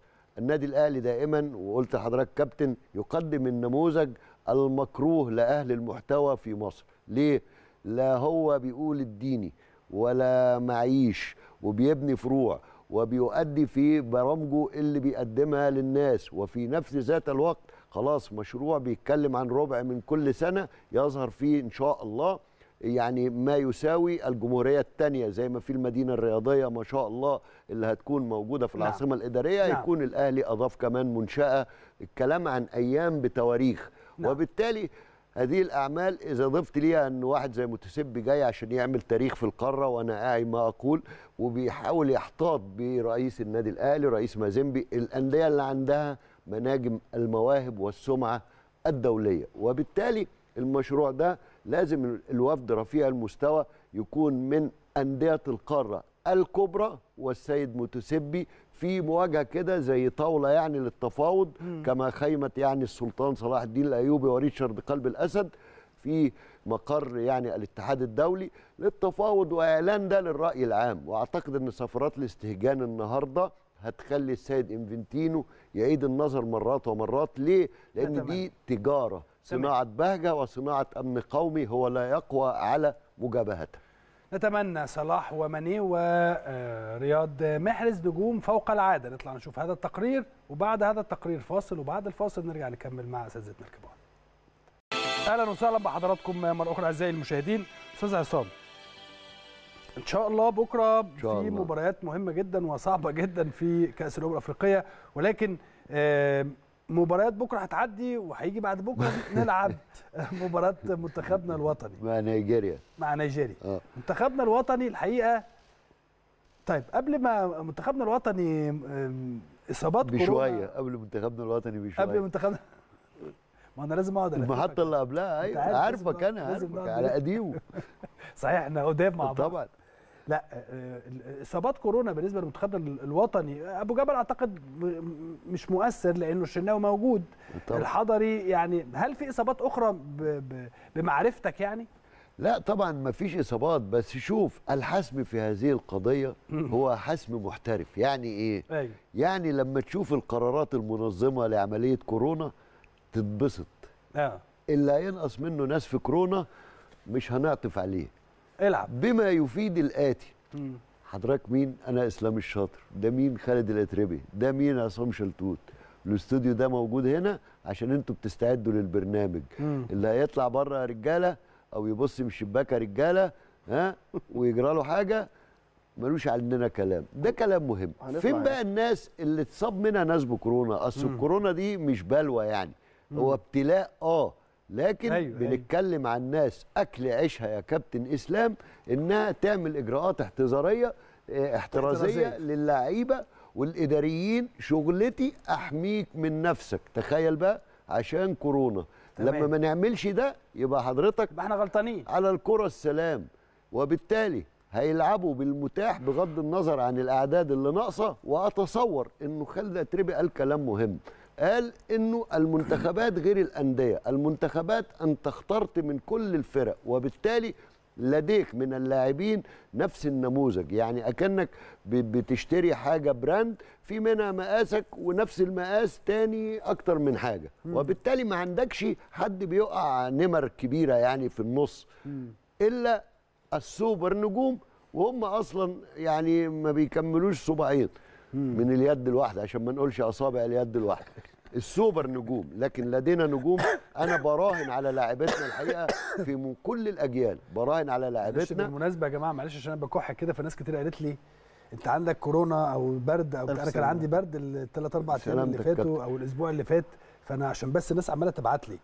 فأنا فعلا كان عندي برد وعملت تحليل واثنين وثلاثه و PCR اثنين وثلاثه ابتسام بيطمنا. سلبي الحمد لله. فما عشان الناس تطمن. سلامتك يا كابتن آه وبعدين ما بتتنقلش كمان بالكاميرات يعني آه، بيتفرجوا عليك يعني ما, آه، ما يخافوش يعني. يعني إحنا هم بس اللي إحنا اللي نسأل. فبالتالي يا كابتن أنا ما عنديش وقت الحقيقة والمفترض الجمهور ما يبقاش عنده آه. وقت إلا لأنه يعرفها كخبر. انه يا عيني ده فلان جاله كورونا المنتخب مش الشخص يعني. آه. لا جاله كورونا خلاص هو وشأنه بقى يبقى نعرف نحاسبه كويس قوي ليه جاله كورونا. يعني زي بالظبط أما يأثر في قصد اللعب. حضرتك اللي جاله كورونا ده يتحاسب؟ طبعا. نعم. هم وإلا لم تصدر أنا آسف آه، خالد وإلا لا. لم تصدر ها نظرية هتلعب لو ب 12 لاعب. هو بيتاخد آه، يعني آه، الاتحاد الأفريقي عامله كده وكل. الجهات عاملاها كده والفيفا عاملة كده. آه. هو أنت هتلعب هتلعب. آه. انت في اجراءات لابد انك تعملها هم حاطين مبدأ اللي اللي يصاب عنده خمسة أو ستة أو سبعة آه، انه ده ان هو اهمل في الاجراءات الاحترازية ولو أنا شايف حاجة عكس كده تماما يا كابتن يعني آه، مش كل في ناس كتير جدا بتبقى واخدة لقاح وتبقى واخدة اقصى الاحتياطات مظبوط. وبرضه بتصاب بكورونا مش يعني هيبقوا أربعة وخمسة يا آه،. لا، طب يعني ما- طب هيبقى لعيب لا، طب أنا طب, النا- طب النادي الأهلي ما- معلش عايز أقول لك حاجة بس اللقاح بيقلل آه، من ال- من ضراوتها. من من آه، بالظبط، ضراوتها. بالظبط من ضراوه الكورونا يعني بدل ما تقعد أسبوع هتقعد أربع ثلاث أربع أيام مثلا يعني أنا أنا بقول اللي أنا سمعته من أصدقاء ليا ده صحيح، كانوا ده واخدين صحيح يا كابتن. الفاكسين وجات لهم آه، اتفضل أنا شايف إن هو الموضوع بعيد شوية عن فكرة ال ال الإهمال أوكي. النادي الأهلي أعلن النهارده خمسة خمسة مصابين بكورونا وكان ثلاث لعيبة آه، تانية لا بس هناك فرق هناك بالظبط. فرق بين وانت بتستعد لبطولة في أنت مقفول في عليك، بالونة. وبين لعيبة الأهلي ما أهملوش الناس كانوا في أجازة بقى مش هي يعني مش هيموت في نفسه ثم هو مش داخل يا خالد على آه. المباريات إنما أنت رايح بطولة يا راجل ده كلام يا راجل. طبعا بس إحنا وغيرنا آه. إحنا وغيرنا في نقطة كنت بتكلم فيها مع كابتن سيد عبد الحفيظ وهو آه. يعني طبعا أنا قايل له إن أنا اتكلم في الموضوع ده آه، آه، في نقطة آه، فكرة آه، كنت بسأله أنتوا هتطلبوا تأجيل مباراة الجونة بعد آه، اللي حصل ده؟ قال لك لا هو السؤال الأوقع أو اللي إحنا ممكن نسأله. إحنا النادي الأهلي بنعمل كل 10 أيام أقصى حد بنعمل مساحات كورونا. هل كل أندية الدوري بتعمل ده؟ لا. كده دي مصيبة. لا طبعا. قصة ثانية ما بت- بتعملش. وفي افتراض وموجود إن طالما ما فيش حتى PCR طالما ما فيش حتى rapid test حتى بيتعمل في افتراض إن يكون في لعيبة بتلعب. لأنه خلاص ما بقاش في أعراض يا كابتن. بقى 60 70% تحس إن هو موجود. ما بقاش في أعراض. وبالتالي لابد من إعادة النظر في الجزئية دي. إنك تعمل أي إجراء يبين لك لأن آه، تخيل لو فريق مثلا زي النادي الأهلي رايح يلعب كأس العالم للأندية نعم. بيلعب مباراه كأس الرابطة ومن الممكن هو يواجه آه، آه، لعيبة عندها عندها كورونا. عندها صحيح. كورونا. تخيل من الممكن إنك تلاقي قبل هي قبل السفر وجهة نظر. عشان كده قلت لكم ما تمدوش على بياض للربط. هناك الكثير من الأعمال لابد إن ده يكون. في إعادة نظر. على ده- فكرة ده لازم. ال- الرابطة منفتحة على كل ال- الطلبات. بمعنى إن حضرتك ممكن تطلب فكرة حلوة على فكرة ما إحنا ممكن نقولها. لازم. ونشوف الرابطة هل من الممكن إن هي آه، تحقق مثل هذا الأمر لأنه كلام منطقي الحقيقة من الكابتن سيد. يعني هو ليه النادي النادي الاهلي الأهلي- اكتشف آه. العدد ده. نعم. يعني اكتشفوا إزاي؟ شغال على الويل عشان. شغال كل اكتشفوا 10 إزاي أيام ده في الاهلي لا ده الاهلي بيعمل خطوتين بعد الرجوع من الأجازة. آه الخط- بعد الرجوع من الأجازة. الخطوة الأولى إن اللعيبة بتدخل على مجموعات مصغرة لل track. يعملوا حاجة زي ال rapid test بس أنت أنا مش جايب واحدة وأنت جايب الاجانب أنا مش عارف آه، الاسم إيه بالظبط؟ بيتعمل. لو آه، النتيجة آه، اللي في التراك لو النتيجة فيها شك بيروح يعمل المسحه بره. ما بتخش ما بتدخلش النادي. آه. لو النتيجة آه تمام بيدخل جوه النادي يعمل مسحه فبالتالي انت بتقوم بإجراءات مشددة جدا بتعرف تحدد مين اللي عنده كورونا. فعشان كده الناس تشوف الرقم خمسة. ما هو خمسة ده أنا اكتشفته علشان أنا بعمل اختبارين. اختبارين. مش اختبار واحد. وجاي من أنا عايز اجازه كل برضه الأندية تقول تعمل لي كده. إيه اللي عمل كده. على فكرة- ويعلنوا ده. آه ما هو كل الأندية هترد عليك عارف يقول لك إيه والله أصل أنا معيش فلوس إن أنا أعمل كل ده النادي الأهلي معاه فلوس كارثة لا ما هو ده ما هو وده اللي الأستاذ عصام اتكلم فيه في الأول بقى ما ده اللي بقوله لحضرتك النادي. الأهلي بيعمل دايما الموضوع بعيدا عن الأع... مش بعيدا عن الأعين، يعني هو ممشي الأمور الفترة اللي فاتت في ظل جائحة وطبعاً شديدة. بس دي تمشي في كل المناحي إلا إنك أنت ب... أنت مش بتلعبش لوحدك. أنت بتلعب قصاد فرقة. ما تعرفش الفرقة دي فيها كام حالة كورونا. انت ممكن مثلا تبقى بعد كده تعزم ناس على PCR. يعني يقول لك أنا عازم ناس على PCR. يا جماعة لازم الرابطة تتحرك بجد في نشاط أحسن من كده ولازم الأخ أحمد دياب ما يزعلش. كلنا قلنا له هنساعد وهنعمل. لازم ننفتح شوية عن كده يا كابتن ويبقى في معامل. يا أخي ده ينفع ينفع. إعلان يا كابتن إنه تجيب المعمل ده إعلان عشان يبقى بي سي آر بي سي آر بي سي آر. المفروض ده يعملوه يعني مش كل واحد. بيكلمه يزعل ويتقمص ويقول لك إحنا ما لو تعرفوا إحنا بنعمل إيه نفسي بقى أسمع إن بقى ليهم مخصصات عشان الوقت اللي بيهدروه نفسي أسمع إنه جابوا مسوقين عشان العقود لما تخلص يراجعوها تاني يعني ده ده طموحنا ده طموح يا عم أحفادنا طبعا. يعني مش معقول بقى نستنى أكتر من بس كده هو يعني. يعني. كان الطموح مثلا 100% في حاجات كتير حضرتك بتقولها وحاجات قبل كده ما حصلتش بس حصلت فده معناه إن إحنا في بيشتغل في شغل تقدم طبعا. إن في شغل وان إحنا يعني بيحبهم فأنا برضو والله بحبهم مش م... لا والله فيعني عملوا طبعا عملوا. بس في حاجات بصراحة. في حاجات يا كابتن في حاجات يا كابتن هو أنا ما لما- بحبش كابتن عصام في حاجات يا. كابتن لما تيجي تعملها هو أنا ما بحبش كابتن عصام عبد الفتاح الشخص ولا الحكم أيوه بالظبط كده بس بالظبط ما كده ده اللي أنا عايز. أوصله لك الشخص. ولا الحكم فأنا الحقيقة اللي أنا شايفه لأ إن في أنا على الأقل يا أستاذ عصام لما ببقى قاعد على التلف... قدام التلفزيون وبتفرج على الماتشات الدوري العام الفترة اللي فاتت يعني اللي هم السبع ثمان أسابيع اللي فاتوا دول منذ أن الرابطة كانت هي اللي- هي اللي مسكت البتاع على الاقل ما ببقى مبسوط ببقى مبسوط أحسن من السنة من اللي فاتت. الشكل من الشكل الحمد الشكل طبعا. الحمد لله حضرتك ما بتبقاش مبسوط ولا لأ؟ لا الحقيقة أنا لسه بشوف الناس بتتخانق ولسه ما شفتش يعني. لسه ما راحوش كيدز كده محل كبير يشتروا عربية تاخد الكرة تنزلها الملعب آه. ولا الحاجات اللي بتتعمل لو حلوة عندنا الأفكار دي نهائي نقولها يا عم الحاجات دي عايزة ورشتين وناس نتفق معاها يلا بينا نعمل أنا بقربها. لك أهو الناس- للأسهل الناس- لكن الناس آه. طول الوقت محملة إنها مهما عملنا لكم ما بيتمرش فيكم لا لا لا ما حدش قال كده بالعكس آه، بقول لا. لحضرتك إيه أنا كان معايا ال- ال- النائب أحمد دياب من من أسبوع أربع خمس أيام واجهت له يوم التل... وجهت له كل الانتقادات اللي اتقالت والراجل اتكلم في منتهى وناس دخلت رائع وانتقدت رائع وبتاع. لا أنا طبعا بتقبله أنا مش. بقول ما بتقبلوش أنا آه. بقول لك عايزينهم ينقلوا بقى على خانة الفعل خلاص أوكي. في حاجات تتعمل أنا مرة مع... واحدة إحنا مع بعض مش خطوة كده خطوة كده مش اللي إحنا خطوة عايزين خطوة بقى إيه إحنا خلاص وصلنا إن إحنا اتكلمنا كويس عن التلفزيون وعن كذا وعن كذا أيوة، وعن كذا أيوة. عايزين بقى ما بعد الله عليك القاد هو ده قصدي عايزه. بقى ما يخافش لو جاب مخرجين برتغال عايزه يروح يقعد مع السيد حسين زين اللي أول ما قالوا يلا بينا طلع لهم كل الكاميرات ويطلعوا الكاميرات اللي اتعمل بيها 2019 آه. اللي الناس بتقلق عشان عهدة وممكن لو حصل لها حاجة عايزه بقى ما يقلقش ويروح يعمل حلمنا إنه يجيب خريجين التربية كده. الرياضية ياخدوا في أكاديمية ناصر للعلوم العسكرية ثلاث شهور يعني دراسة فيبقوا هم الأمن زي أوروبا كده ونبدأ بقى ما يبقاش فيه إلا البوليس لو أفكار احتاجنا رائعة. البوليس أفكار رائعة عايزة. يومين تنفيذ بالظبط يومين. افكار رائعة مش شهرين ولا سنتين ولا أسبوعين يومين تنفيذ أفكار ناخد رائعة. قرار بس منتخب مصر هيعمل إيه يوم الثلاث يفترض إنه إن شاء الله يكسب أو يعني يتعادل في أقل أصعب. تقدير خالد مين مباراة صعبة؟ نعم مباراة صعبة آه صعبة آه، خاصة البدايات دايما بتبقى صعبة. أيوه. آه، إنما أنت أكيد عندك عناصر قادرة إن هي آه، تكسب. عندك أحسن لاعب في العالم دلوقتي.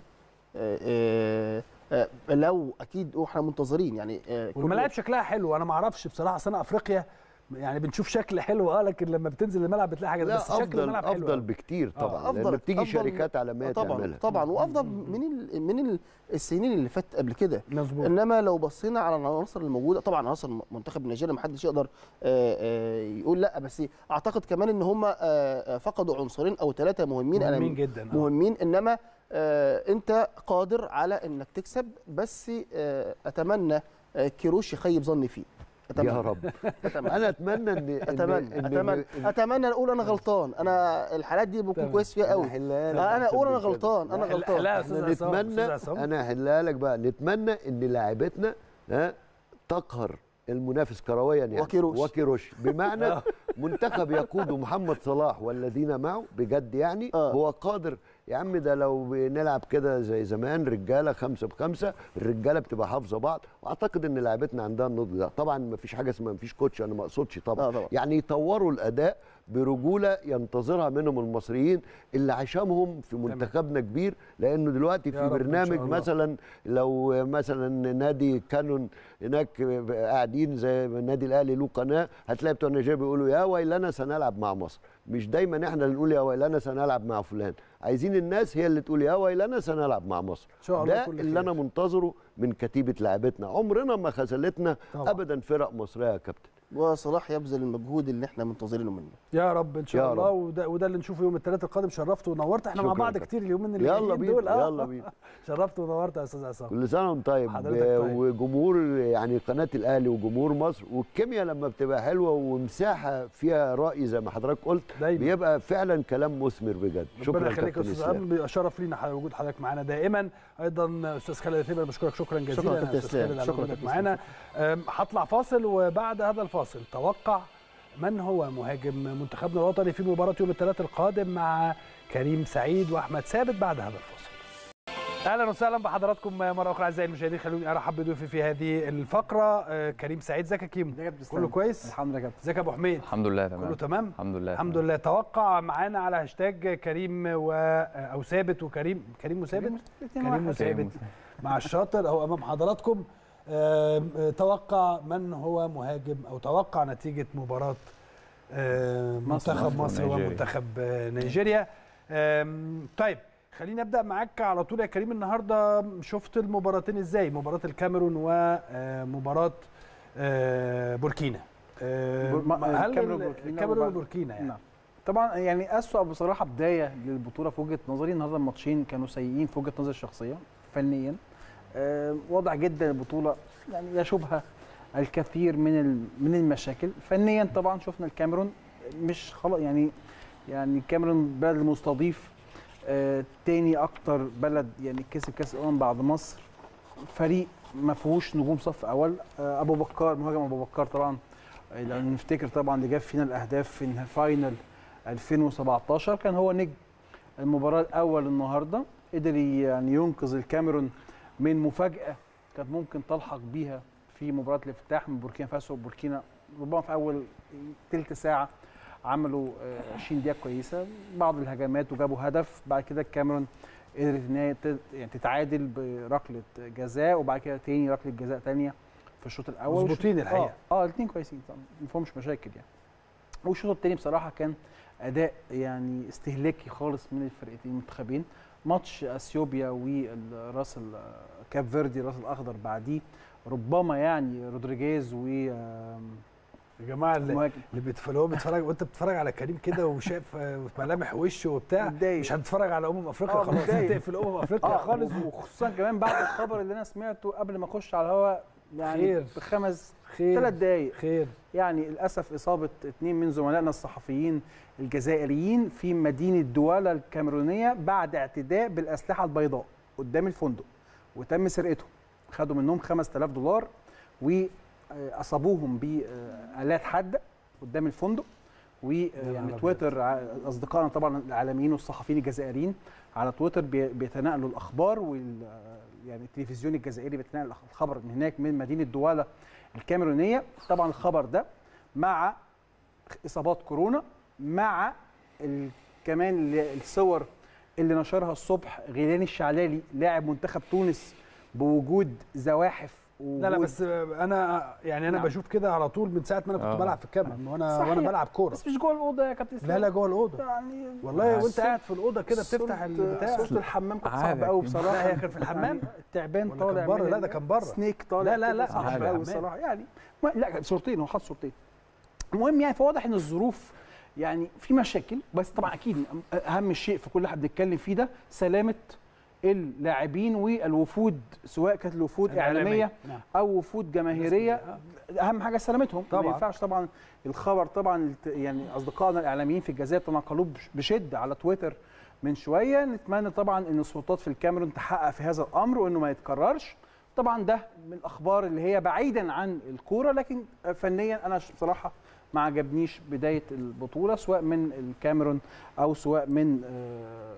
بوركينا فاسو. ربما بس هم الا الاثنين اللي عجبوني جدا في كاف فيردي الجناح الأيسر اللي هو جاري رودريجيز بيلعب في أولمبياكوس اليوناني لعيب ممتاز جدا يعجب الناس يعني كوير وحريف لعيب سريع لعيب حلو. والمهاجم تافاريز اللي جاب الهدف الوحيد في المباراه مهاجم نادي الفيصلي السعودي. مهاجم قوي جدا مهاجم صريح رقم تسعة قوي جدا بدنيا. دول بس اللي عجبوني النهارده فنيا في اليوم. خليني أنا- طب حتى يعني أنا أضحك. يعني أنا شايف م... أنا. أنا مختلف شوية مع كريم في ماتش الكاميرون وبوركينا. شايف إن ال- المباراة كانت مثيرة. دايما في مباريات الافتتاح خاصة في أي بطولة لما تكون المباراة على ملعب ال- المنتخب المستضيف بيبقى هو تحت ضغط. فبيبقى يعني بيبقى عايز يكسب أكتر من الأداء طبعا لما ياخد ثلاث نقط عشان كمان البطولة تنجح كمان فإحنا دايما بنبقى دايما مع الفريق يعني إيه الضيف. ولكن بصراحة المباراة أنا شايف إن هي لأ المباراة كانت أفضل طبعا من المباراة الثانية بكل تأكيد. آه، منتخب بوركينا فاجئنا في أول 30 دقيقة بأدائه. يعني قدموا أداء هايل جدا كمية ضغط وصراع بدني رهيب. ال- الصراع البدني الموجود ده يحسسك إن اللعيبة فعلا في أوروبا كلها جاهزة. جاية من أوروبا جاهزة رغم إن مفيش مباريات ودية اتعملت ل 90% من المنتخبات قبل البطولة. يعني 90% مفيش غير الجزائر وغانا اللي لعبوا ماتش. الباقي كله جاي جاهز. فالنهاردة الصراع البدني الواضح في مباراة الكاميرون وبوركينا أنا كنت حاسس إن هي معركة. معركة ما بين ال- الاسود الكاميرون والخيول طبعا اللي هم بوركينا فاسو. يعني معركة كانت قوية جدا. الشوط الأول أول 30 دقيقة بوركينا فاسو تفوقت وقدرت إن هي تسجل هدف كانت بتعتمد إن هي بتقفل. وبتلعب دفاع منطقة وبتلعب على الهجمات المرتدة وبتستغل الضربات الثابتة. نجحوا فعلا من ضربة ثابتة إن هم يجيبوا هدف. أول ما جابوا هدف توقيت الهدف التعادل للكاميرون كان مثالي في الدقيقة 40 أو الدقيقة 39 من خلال ركلة جزاء. طبعا حسبها الحكم اللي دايما بنتفائل بيه الحكم الجزائري مصطفى غربال وش السعد على جمهور النادي الأهلي وعلى النادي الأهلي في مباراة ال- القاضية ممكن يعني. طبعا حسب ضربة جزاء وبعدين حسب برضه ضربة جزاء تانية قدرت الكاميرون بعد كده ترجع بشكل كويس جدا. كابتن محمود عاشور برضه هو اللي آه، لسه هقول أهو في الماتش الثاني إيه في في الماتش الثاني محمود آه، الحكم محمود عاشور طبعا يستحق التحية النهارده صاحب أول طرد حكم المباراة. الثانية آه. والغريب بقى يعني أو المثير في الموضوع إيه؟ إن حالة الطرد بتاعت النهارده ليه دي طرد؟ ليه دي طرد مباشر؟ وليه لعبه على فكرة كان نفس الحكم محمود عاشور في مباراة الأهلي وفيوتشر اللي هي لعبة محمد الشناوي. لو جبنا الصور اللي معانا بص حضرتك هم أربع حاجات. يعني أربع حاجات لازم نعم. إمتى ال- الفرصة المحققة أدي فيها كارت أحمر مباشر. أول حاجة الاتجاه العام للعب. لازم يكون مباشر للمرمى. لازم يكون الاتجاه العام ويعني إيه؟ لازم يكون الهجمة مباشرة للمرمى. دي أول حاجة. النقطة الثانية تمركز وعدد المدافعين. هل عدد المدافعين اللي حواليه هيلحق الكورة ولا لأ؟ النقطة الثالثة السيطرة المستقبلية لل- للمهاجم ده على الكورة، هل هو لو لو كمل بيها هي- هيست- هيستلم الكورة وهيسيطر عليها ولا لأ؟ النقطة الرابعة المسافة ما بين ارتكاب المخالفة والمرمى، دول لازم الأربع شروط يتم توفيرهم عشان ندي كارت أحمر، لو استعرضنا الصورة بتاعت الطرد النهاردة هنلاقي إن ال- الطرد واضح جدا يعني ليه؟ لأن هتلاقي فيها الأربع حاجات، الاتجاه العام مواجه للمرمى، هتلاقي فيها إن تمركز وعدد المدافعين ال- المهاجم رايح على الجون، السيطرة المستقبلية يعني هو يقدر يسيطر على الكورة. المسافة أهي الصورة اهي قدامنا. بص حضرتك الأربع حاجات. اولا الاتجاه قدام المرمى. الحاجة الثانية تمركز محمود هنا مركز. مر- مركز. وحاسب برضو بتاعة الأهلي وفيوتشر صح. يعني كابتن علي ماهر كان بيعترض قوي هنجيبها برضو. بس دي اولا تمركز وعدد المدافعين. هو خلاص رايح انفراد. السيطرة المستقبلية على الكورة هل هيسيطر عليها ولا لا؟ هيسيطر عليها. المسافة ما بين ارتكاب المخالفة والمرمى قريبة جدا. ده على كوس تعتبر على حدود منطقة ال- الجزاء يعني. وبالتالي هنا كارت ما أحمر تعتبرش آم، مش بعيدة. شوية؟ لا لا قريبة. ده هي مواجهة للمرمى قريبة جدا. هات بقى الثانية الفكرة هو في اتجاه هو في اتجاه المرمى. اتجاه آه. اللاعب هو المتجه. بص حضرتك ديت الثانية اللي كانت بعض الناس اعترضت عليها وإزاي الشناوي ما ياخدش فيها كارت أحمر؟ دي يا جماعة على الجنب على الجنب. يعني أول بند اللي هو الاتجاه العام للعب أن يكون مواجه للمرمى مش موجود في اللعبة دي. وبالتالي برضو كان نفس حكم الفار كان كابتن محمود عاشور في مباراة الأهلي وفيوتشر آه okay. فدي نفس اللعبة. فهو هنا يستحق التحية عليها إن هو حافظ قانون اللعبة صح ومذاكر كويس جدا إن اللعبة زي دي ما اداش فيها كارت أحمر والنهاردة بيدي برضه جرأة من حكم الفار. الحكم ما كانش بيدي انذار. استدعى الحكم الأنجولي هيكتور مار... هيلدور هيلدر مارتينيز قال له من الدقيقة سبعة في كارت أحمر ودي برضه تحسب ليه حكم الف... ال- الفار كابتن محمود عاشور بصراحة. برضه عايزين نتمنى الشفاء لكل من كابتن محمود البنا والكابتن أحمد أحمد حسام طه طبعا. الاثنين جالهم يعني positive العينة بتاعتهم جت في ايجابيه كتير الحقيقة في وجود وضع في ال- وضع هناك صعب جدا يا كابتن اسلام عدد اللاعبين وعدد المسؤولين اللي عينتهم طلعت إيجابية من كورونا في الكاميرون فوق الحد فوق الحد بصراحة مستحيل يعني. الموضوع صعب جدا ونتمنى إن يعني يتم تدارك الأمر لأن البطولة طويلة. إحنا لسه لسه النهارده بدري. 24 فريق. 24 منتخب إحنا بنتكلم يعني لسه بدري يعني. جدا جدا جدا يعني الموضوع لسه بدري قوي على هذا كم الأعداد. وكمان في نجوم مش هيلعبوا. السنغال أول مباراة ليها مفيش مندي حارس المرمى ومفيش. كولوبالي. يعني أمر صعب. يعني أنت آه. أصلا بتستنى ماتشات يعني طالما أنت طلعت 24 منتخب فأنت فاهم يعني الموضوع بيبقى في منتخبات كتيرة مش على قد مستوى. المستوى منتخبات معينة يعني. بالظبط. فبتستلم مباريات معينة. فتخيل كمان مباراة أنت مستنيها هتلاقي إن مندي وكوليبالي مش موجودين. مندي لسه لاعب ماتش آه، قدام ليفربول بصراحة يعني حاجة إعجازية. مش هنتفرج عليه في أول انطلاقه للسنغال والله أعلم والله أعلم طبعا. يعني ربنا يشفيهم كلهم. بس طبعا أكيد ده في علم الغيب. الله أعلم اللعيبة دي تحاليلها هتبقى سلبية عشان تقدر تشارك إمتى؟ ما حدش هقول لك على حاجة كريم برضو. اتفضل. أنا شايف إن البطولة دي هتبدأ من دور ال 16 ليه؟ يعني حتى لو اللعيبة دي غابت هتبدأ أول بدور قبل النهائي. أو دور الثمانية كمان. يعني مرحلة دور المجموعات دي أصل في أربع في أحسن أربع ثواني هيصعد منها أربعة. أيوه طبعا. يعني كله هيصعد. طبعا. كله هيصعد. صعب إن فرقة كبيرة تخرج يعني. فاحسن طبعا أربع ثواني. بقوله لك إن أنت يعني حتى الفرق آه ف- فالبطولة هتبدأ من دور الثمانيه فالإصابات اللي هي في الأول دي اللعيبة دي هتلحق بعد كده. يا مسهل يا آه. مسهل نشوف ال- ال- اللعيبة دي هتلحق ولا مش هتلحق. الماتش الثاني أثيوبيا بقى و...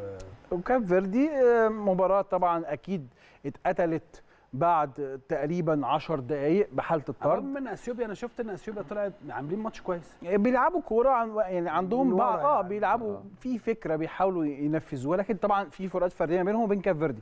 يعني كاب فيردي في وجهة نظري رودريجيز وتافاريز عليهم كانوا جابوا. آه الاثنين لا واضح إن الاثنين كمان عارف يا كابتن إسلام الفرقتين طبعا مستويات ما فيش فجوة كبيرة. منتخبات لكن آه منتخبات ما فيش ما فيش حاجة يعني إيه ما فيش فجوة شاسعة بين الاثنين. ولكن مهارة رودريجيز لعيب رقم 11 بيتفرجوا عليه في المباريات الجاية لمنتخب كاف فيردي وتافاريز لعيب مهاجم الصغير رقم 19 هم بقى عندهم فروقات فردية عن لعيبة أثيوبيا. نضيف ده كمان على حالة الطرد اللي حصلت آه. والفرق العددي في المباراة. خلى كاف فيردي طبعا مباراة كانت في وجهة نظري من جانب واحد الشوط الأول بخلاف الهدف اللي تم إحرازه كان هائل من الفرص. وطبعا كانت فرص سهلة لكن برضو كاف فيردي مش الفرقة اللي تقدر تفنش ماتش زي ده ب score. بس أعتقد طبعا هم كانوا مبسوطين بالانتصار. ثلاث نقط. أكيد لأن بيخليهم بيديهم مساعدة أنت كان كويسة عندك آه إن هم يتأهلوا لدور كان 16. عندك آه، تعليق على ال- الضربتي الجزاء بتوع منتخب الكاميرون فينسنت ابو بكر؟ آه أبو بكر بصراحة قدم مباراة هو أحسن واحد النهارده في اليوم كله أبو بكر مهاجم الكاميرون مهاجم هايل بصراحة.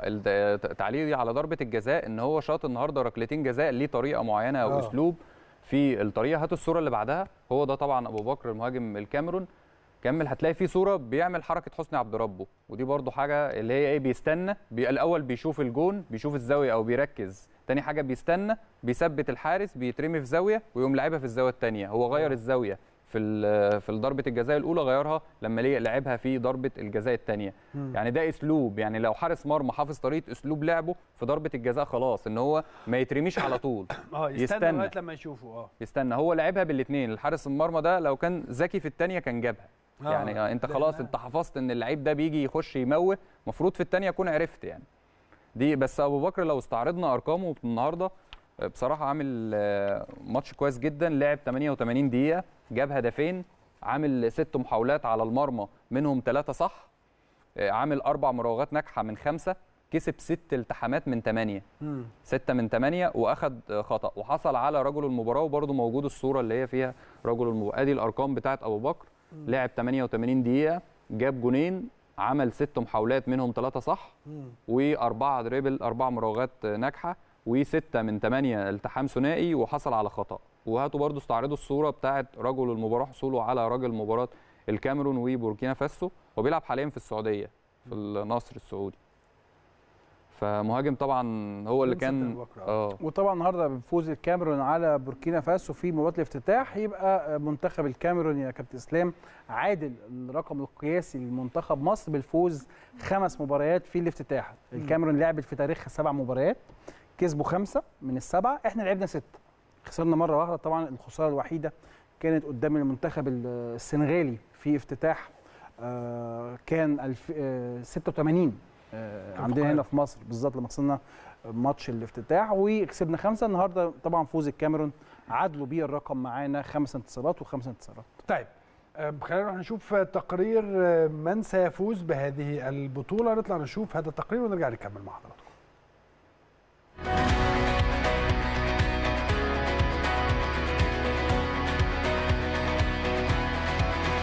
ندعو ربنا إن شاء الله أن يكون مصر كلها نصيب إن شاء الله تكون هي اللي تكسب وكده.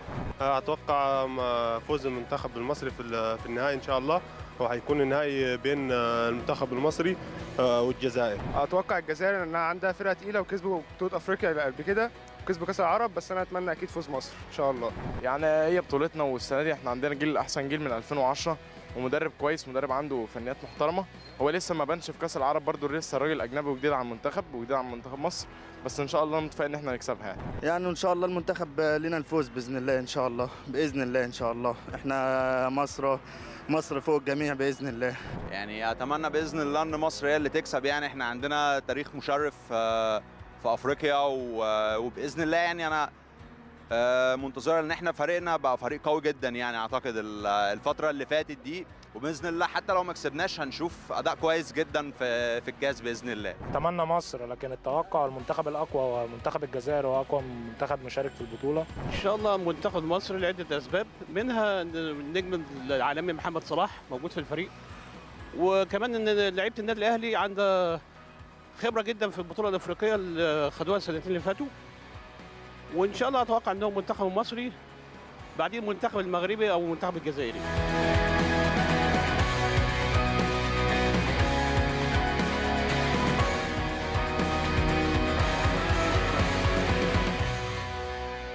طيب آه، كريم برضو خليني آه، أسألك عن آه، النادي الأهلي نعم. فوز النهارده النادي الأهلي بجائزة الإبداع لمحمد بن راشد أعتقد إن ده شيء رائع جدا. أكيد طبعا جايزة تضاف للإنجازات اللي بيحققها النادي الأهلي تحت قيادة الكابتن محمود الخطيب الفترة اللي فاتت. آه، إحنا بنشوف الجائزه دي بقت اعتيادية حتى للنادي الأهلي بشكل سنوي بخلاف طبعا الانتصارات الكروية. الجائزه حلاوتها إن هي جائزه أدبية يعني جائزه بعيدا عن الانتصارات داخل الملعب وبتترجم الجهد والشغل اللي تم في النادي الأهلي.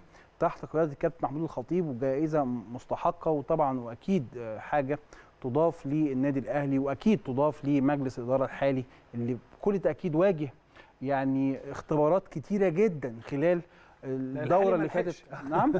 الحالي ما لحقش لسه الأمانة طبعا لسه الحالية لكن اللي فات بصراحة كانت اختبارات كتيرة جدا. كانت محمود الخطيب والمجلس يعني جم على آه، حاجات أو ميراث كان تقيل شوية الفترة اللي فاتت والحمد لله النادي الأهلي قدر يعود للتراك الرياضي بشكل كويس وطبعا ويستمر كمان آه، عايز أشيد بالتطور الهائل اللي معمول في فريق كرة السلة. تطور هائل. النهارده بصراحة أنا شايف كم هائل من الجمهور بيتابع كرة السلة بما يشبه بما يشبه نفس الحماس اللي الناس بتنتظر بيه فرقة الكورة. بصراحة فريق الباسكت النهارده بقى واحد من أحلى من أحلى الألعاب الجماعية في النادي. الناس بتحب كلنا بنستنى ماتشاتها وبصراحة الدوري دوري يعني ساخن جدا فكل ده نجاحات بتنسب لمجلس الاداره ونتيجة للشغل المثمر بتاعهم. نعم. الجائزه دي طبعا حاجة يعني دايما النادي الأهلي الهرم الرابع لمصر يعني. آه، جايزه محمد بن راشد المكتوم للإبداع الرياضي هي طبعا متاخدة. الجايزة دي يا جماعة بدأت سنة 2003 وبعدين كانت أول جايزة تم ال- التكريم فيها هي عام 2004 تم توسيعها عام 2012 شملت ثلاث حاجات. إطار محلي المحلي اللي هو جوه دولة الإمارات والإطار العربي والإطار الدولي. الإطار العربي الشاشة دي عايزة لوحدها بتاع إبداع.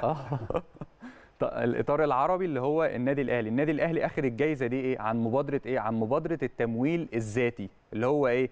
في فترة آه، مواجهة جائحة كورونا.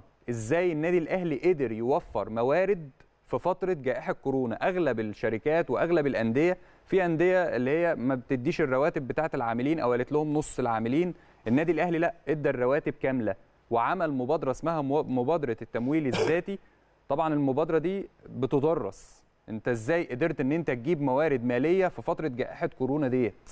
وبالتالي النادي الأهلي اخذ الجائزه عن الحاجة دي وسط 54 ح- نادي كان مرشح. يعني 54 نادي واللجنة اللي بتقيم لجنة عالمية.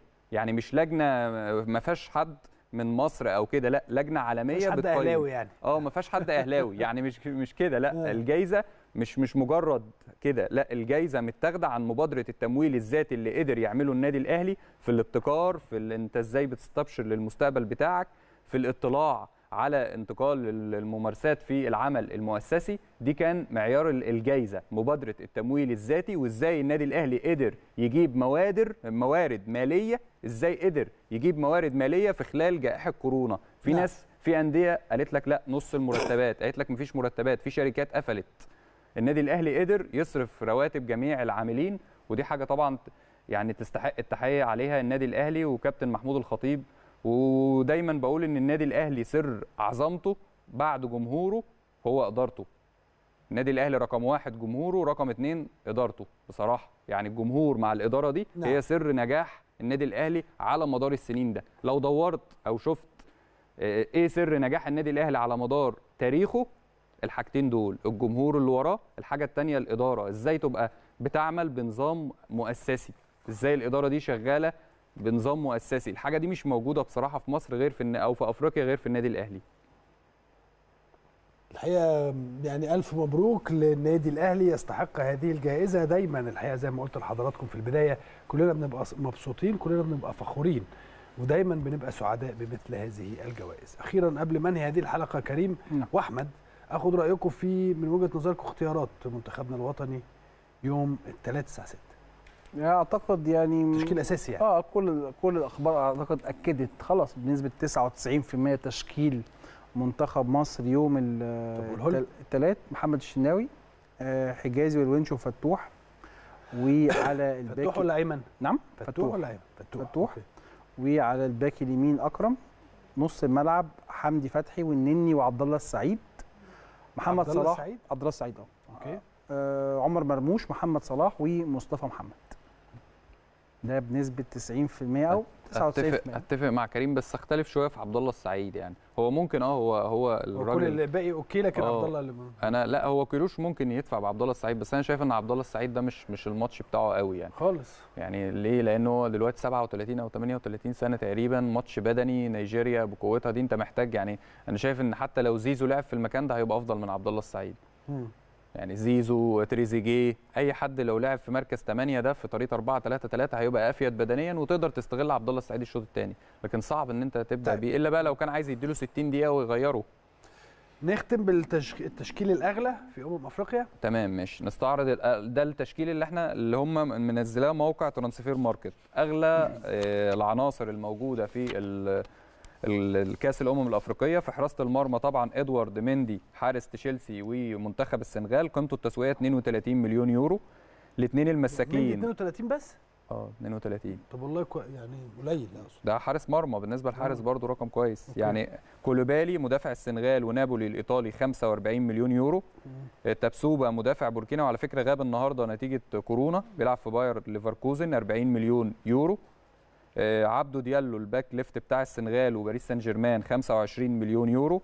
أشرف حكيمي في المغرب 70 مليون يورو. طبعا ده بيلعب في باريس سان جيرمان الثلاثه توماس بارتي 40 مليون يورو نجم الغانا وأرسنال الإنجليزي. نيجي بعد كده لفرانك كيسيه نجم الميلان وكوت ديفوار 48 مليون يورو. ويلفريد نديدي أغلى لاعب في منتخب نيجيريا ونجم ليستر سيتي الإنجليزي. الثلاثه اللي قدام رياض محرز 40 مليون يورو في الجزائر مانشستر سيتي. محمد صلاح أغلى لاعب في البطولة 100 مليون من مصر ليفربول. وساديو ماني من السنغال ليفربول 80 مليون يورو. دي التشكيلة أغلى تشكيلة موجودة في كأس الأمم الأفريقية. هتلاقي فيها كام واحد من السنغال؟ ساديو ماني وكولوبالي وإدوارد من ثلاثة من السنغال. كم واحد من مصر؟ محمد صلاح. كفاية. أغلى واحد في البطولة. أغلى واحد في البطولة. آه، اتنين من السنغال من اتنين من السنغال دول طلعوا من كورونا بكرة صح؟ آه. اللي إحنا كنا بنتكلم اتنين من. الثلاثه اتنين من الثلاثه اتنين من الثلاثه آه. فاضل ماني. يعني لا بس مش مهم إحنا عايزين نتفرج على بيني وبينك يعني صح البطولة. نتفرج وبعدين هي. هتبدأ من دور الثمانيه بصراحة. ما يجوا ل- دور الثمانيه إن شاء الله عليك. خير أنا بشكرك يا كريم على وجودك معانا شكراً شكرا جزيلا شكرا جزيلا يا أحمد على وجودك معانا. شكرا. أنا بشكر حضراتكم شكرا جزيلا. ما تنسوش إحنا كل يوم الساعة 11 بالليل آه، فترة المباريات. زي ما حضراتكم عارفين فترة مباريات أمم إفريقيا هنبدأ مع حضراتكم دايما الساعة 11 بالليل وما تنسوش برضو أنا دايما بشوف كريم وأحمد ثابت بفتكر المسابقة على طول لأن هم بيبعتوا على طول بيكلموني يقولوا لي إيه رأيك؟ أقول لهم أنا والله يا جماعة ما بشوف حاجة ولا أعرف حاجة. ففي مسابقة زي ما حضراتكم عارفين اللي عايز يبعت مسج أو يتصل من أي مح- محمول يتصل على 19 على آه، 7 هقول لكم كام الأرقام دلوقتي؟ أنا نسيت الأرقام. 17 95 17 95 صح؟ حافظها. أي محلول بص حافظ. واضح. من كتر ما بيبعت. 17 95 من أي محمول أو آه، أي مسج حضراتكم عايزين تبعتوها برقم آه، الإجابة الصحيحة. آه، ثم آه، 0900 9500 من أي خط أرضي. حضرتك ابعت في أي وقت إن شاء الله. يوم الاربع القادم كالعادة الحقيقة هيكون معانا آه، السحب الثاني على من سيكون المتسابق الثاني اللي هيكون موجود معانا إن شاء الله في كأس العالم للأندية عشان يتفرج على أولى المباريات النادي الأهلي ومونتيري المكسيكي أنا بشكر حضراتكم شكرا جزيلا. إن شاء الله ألتقي مع حضراتكم بكرة وحلقة جديدة من البيت الكبير.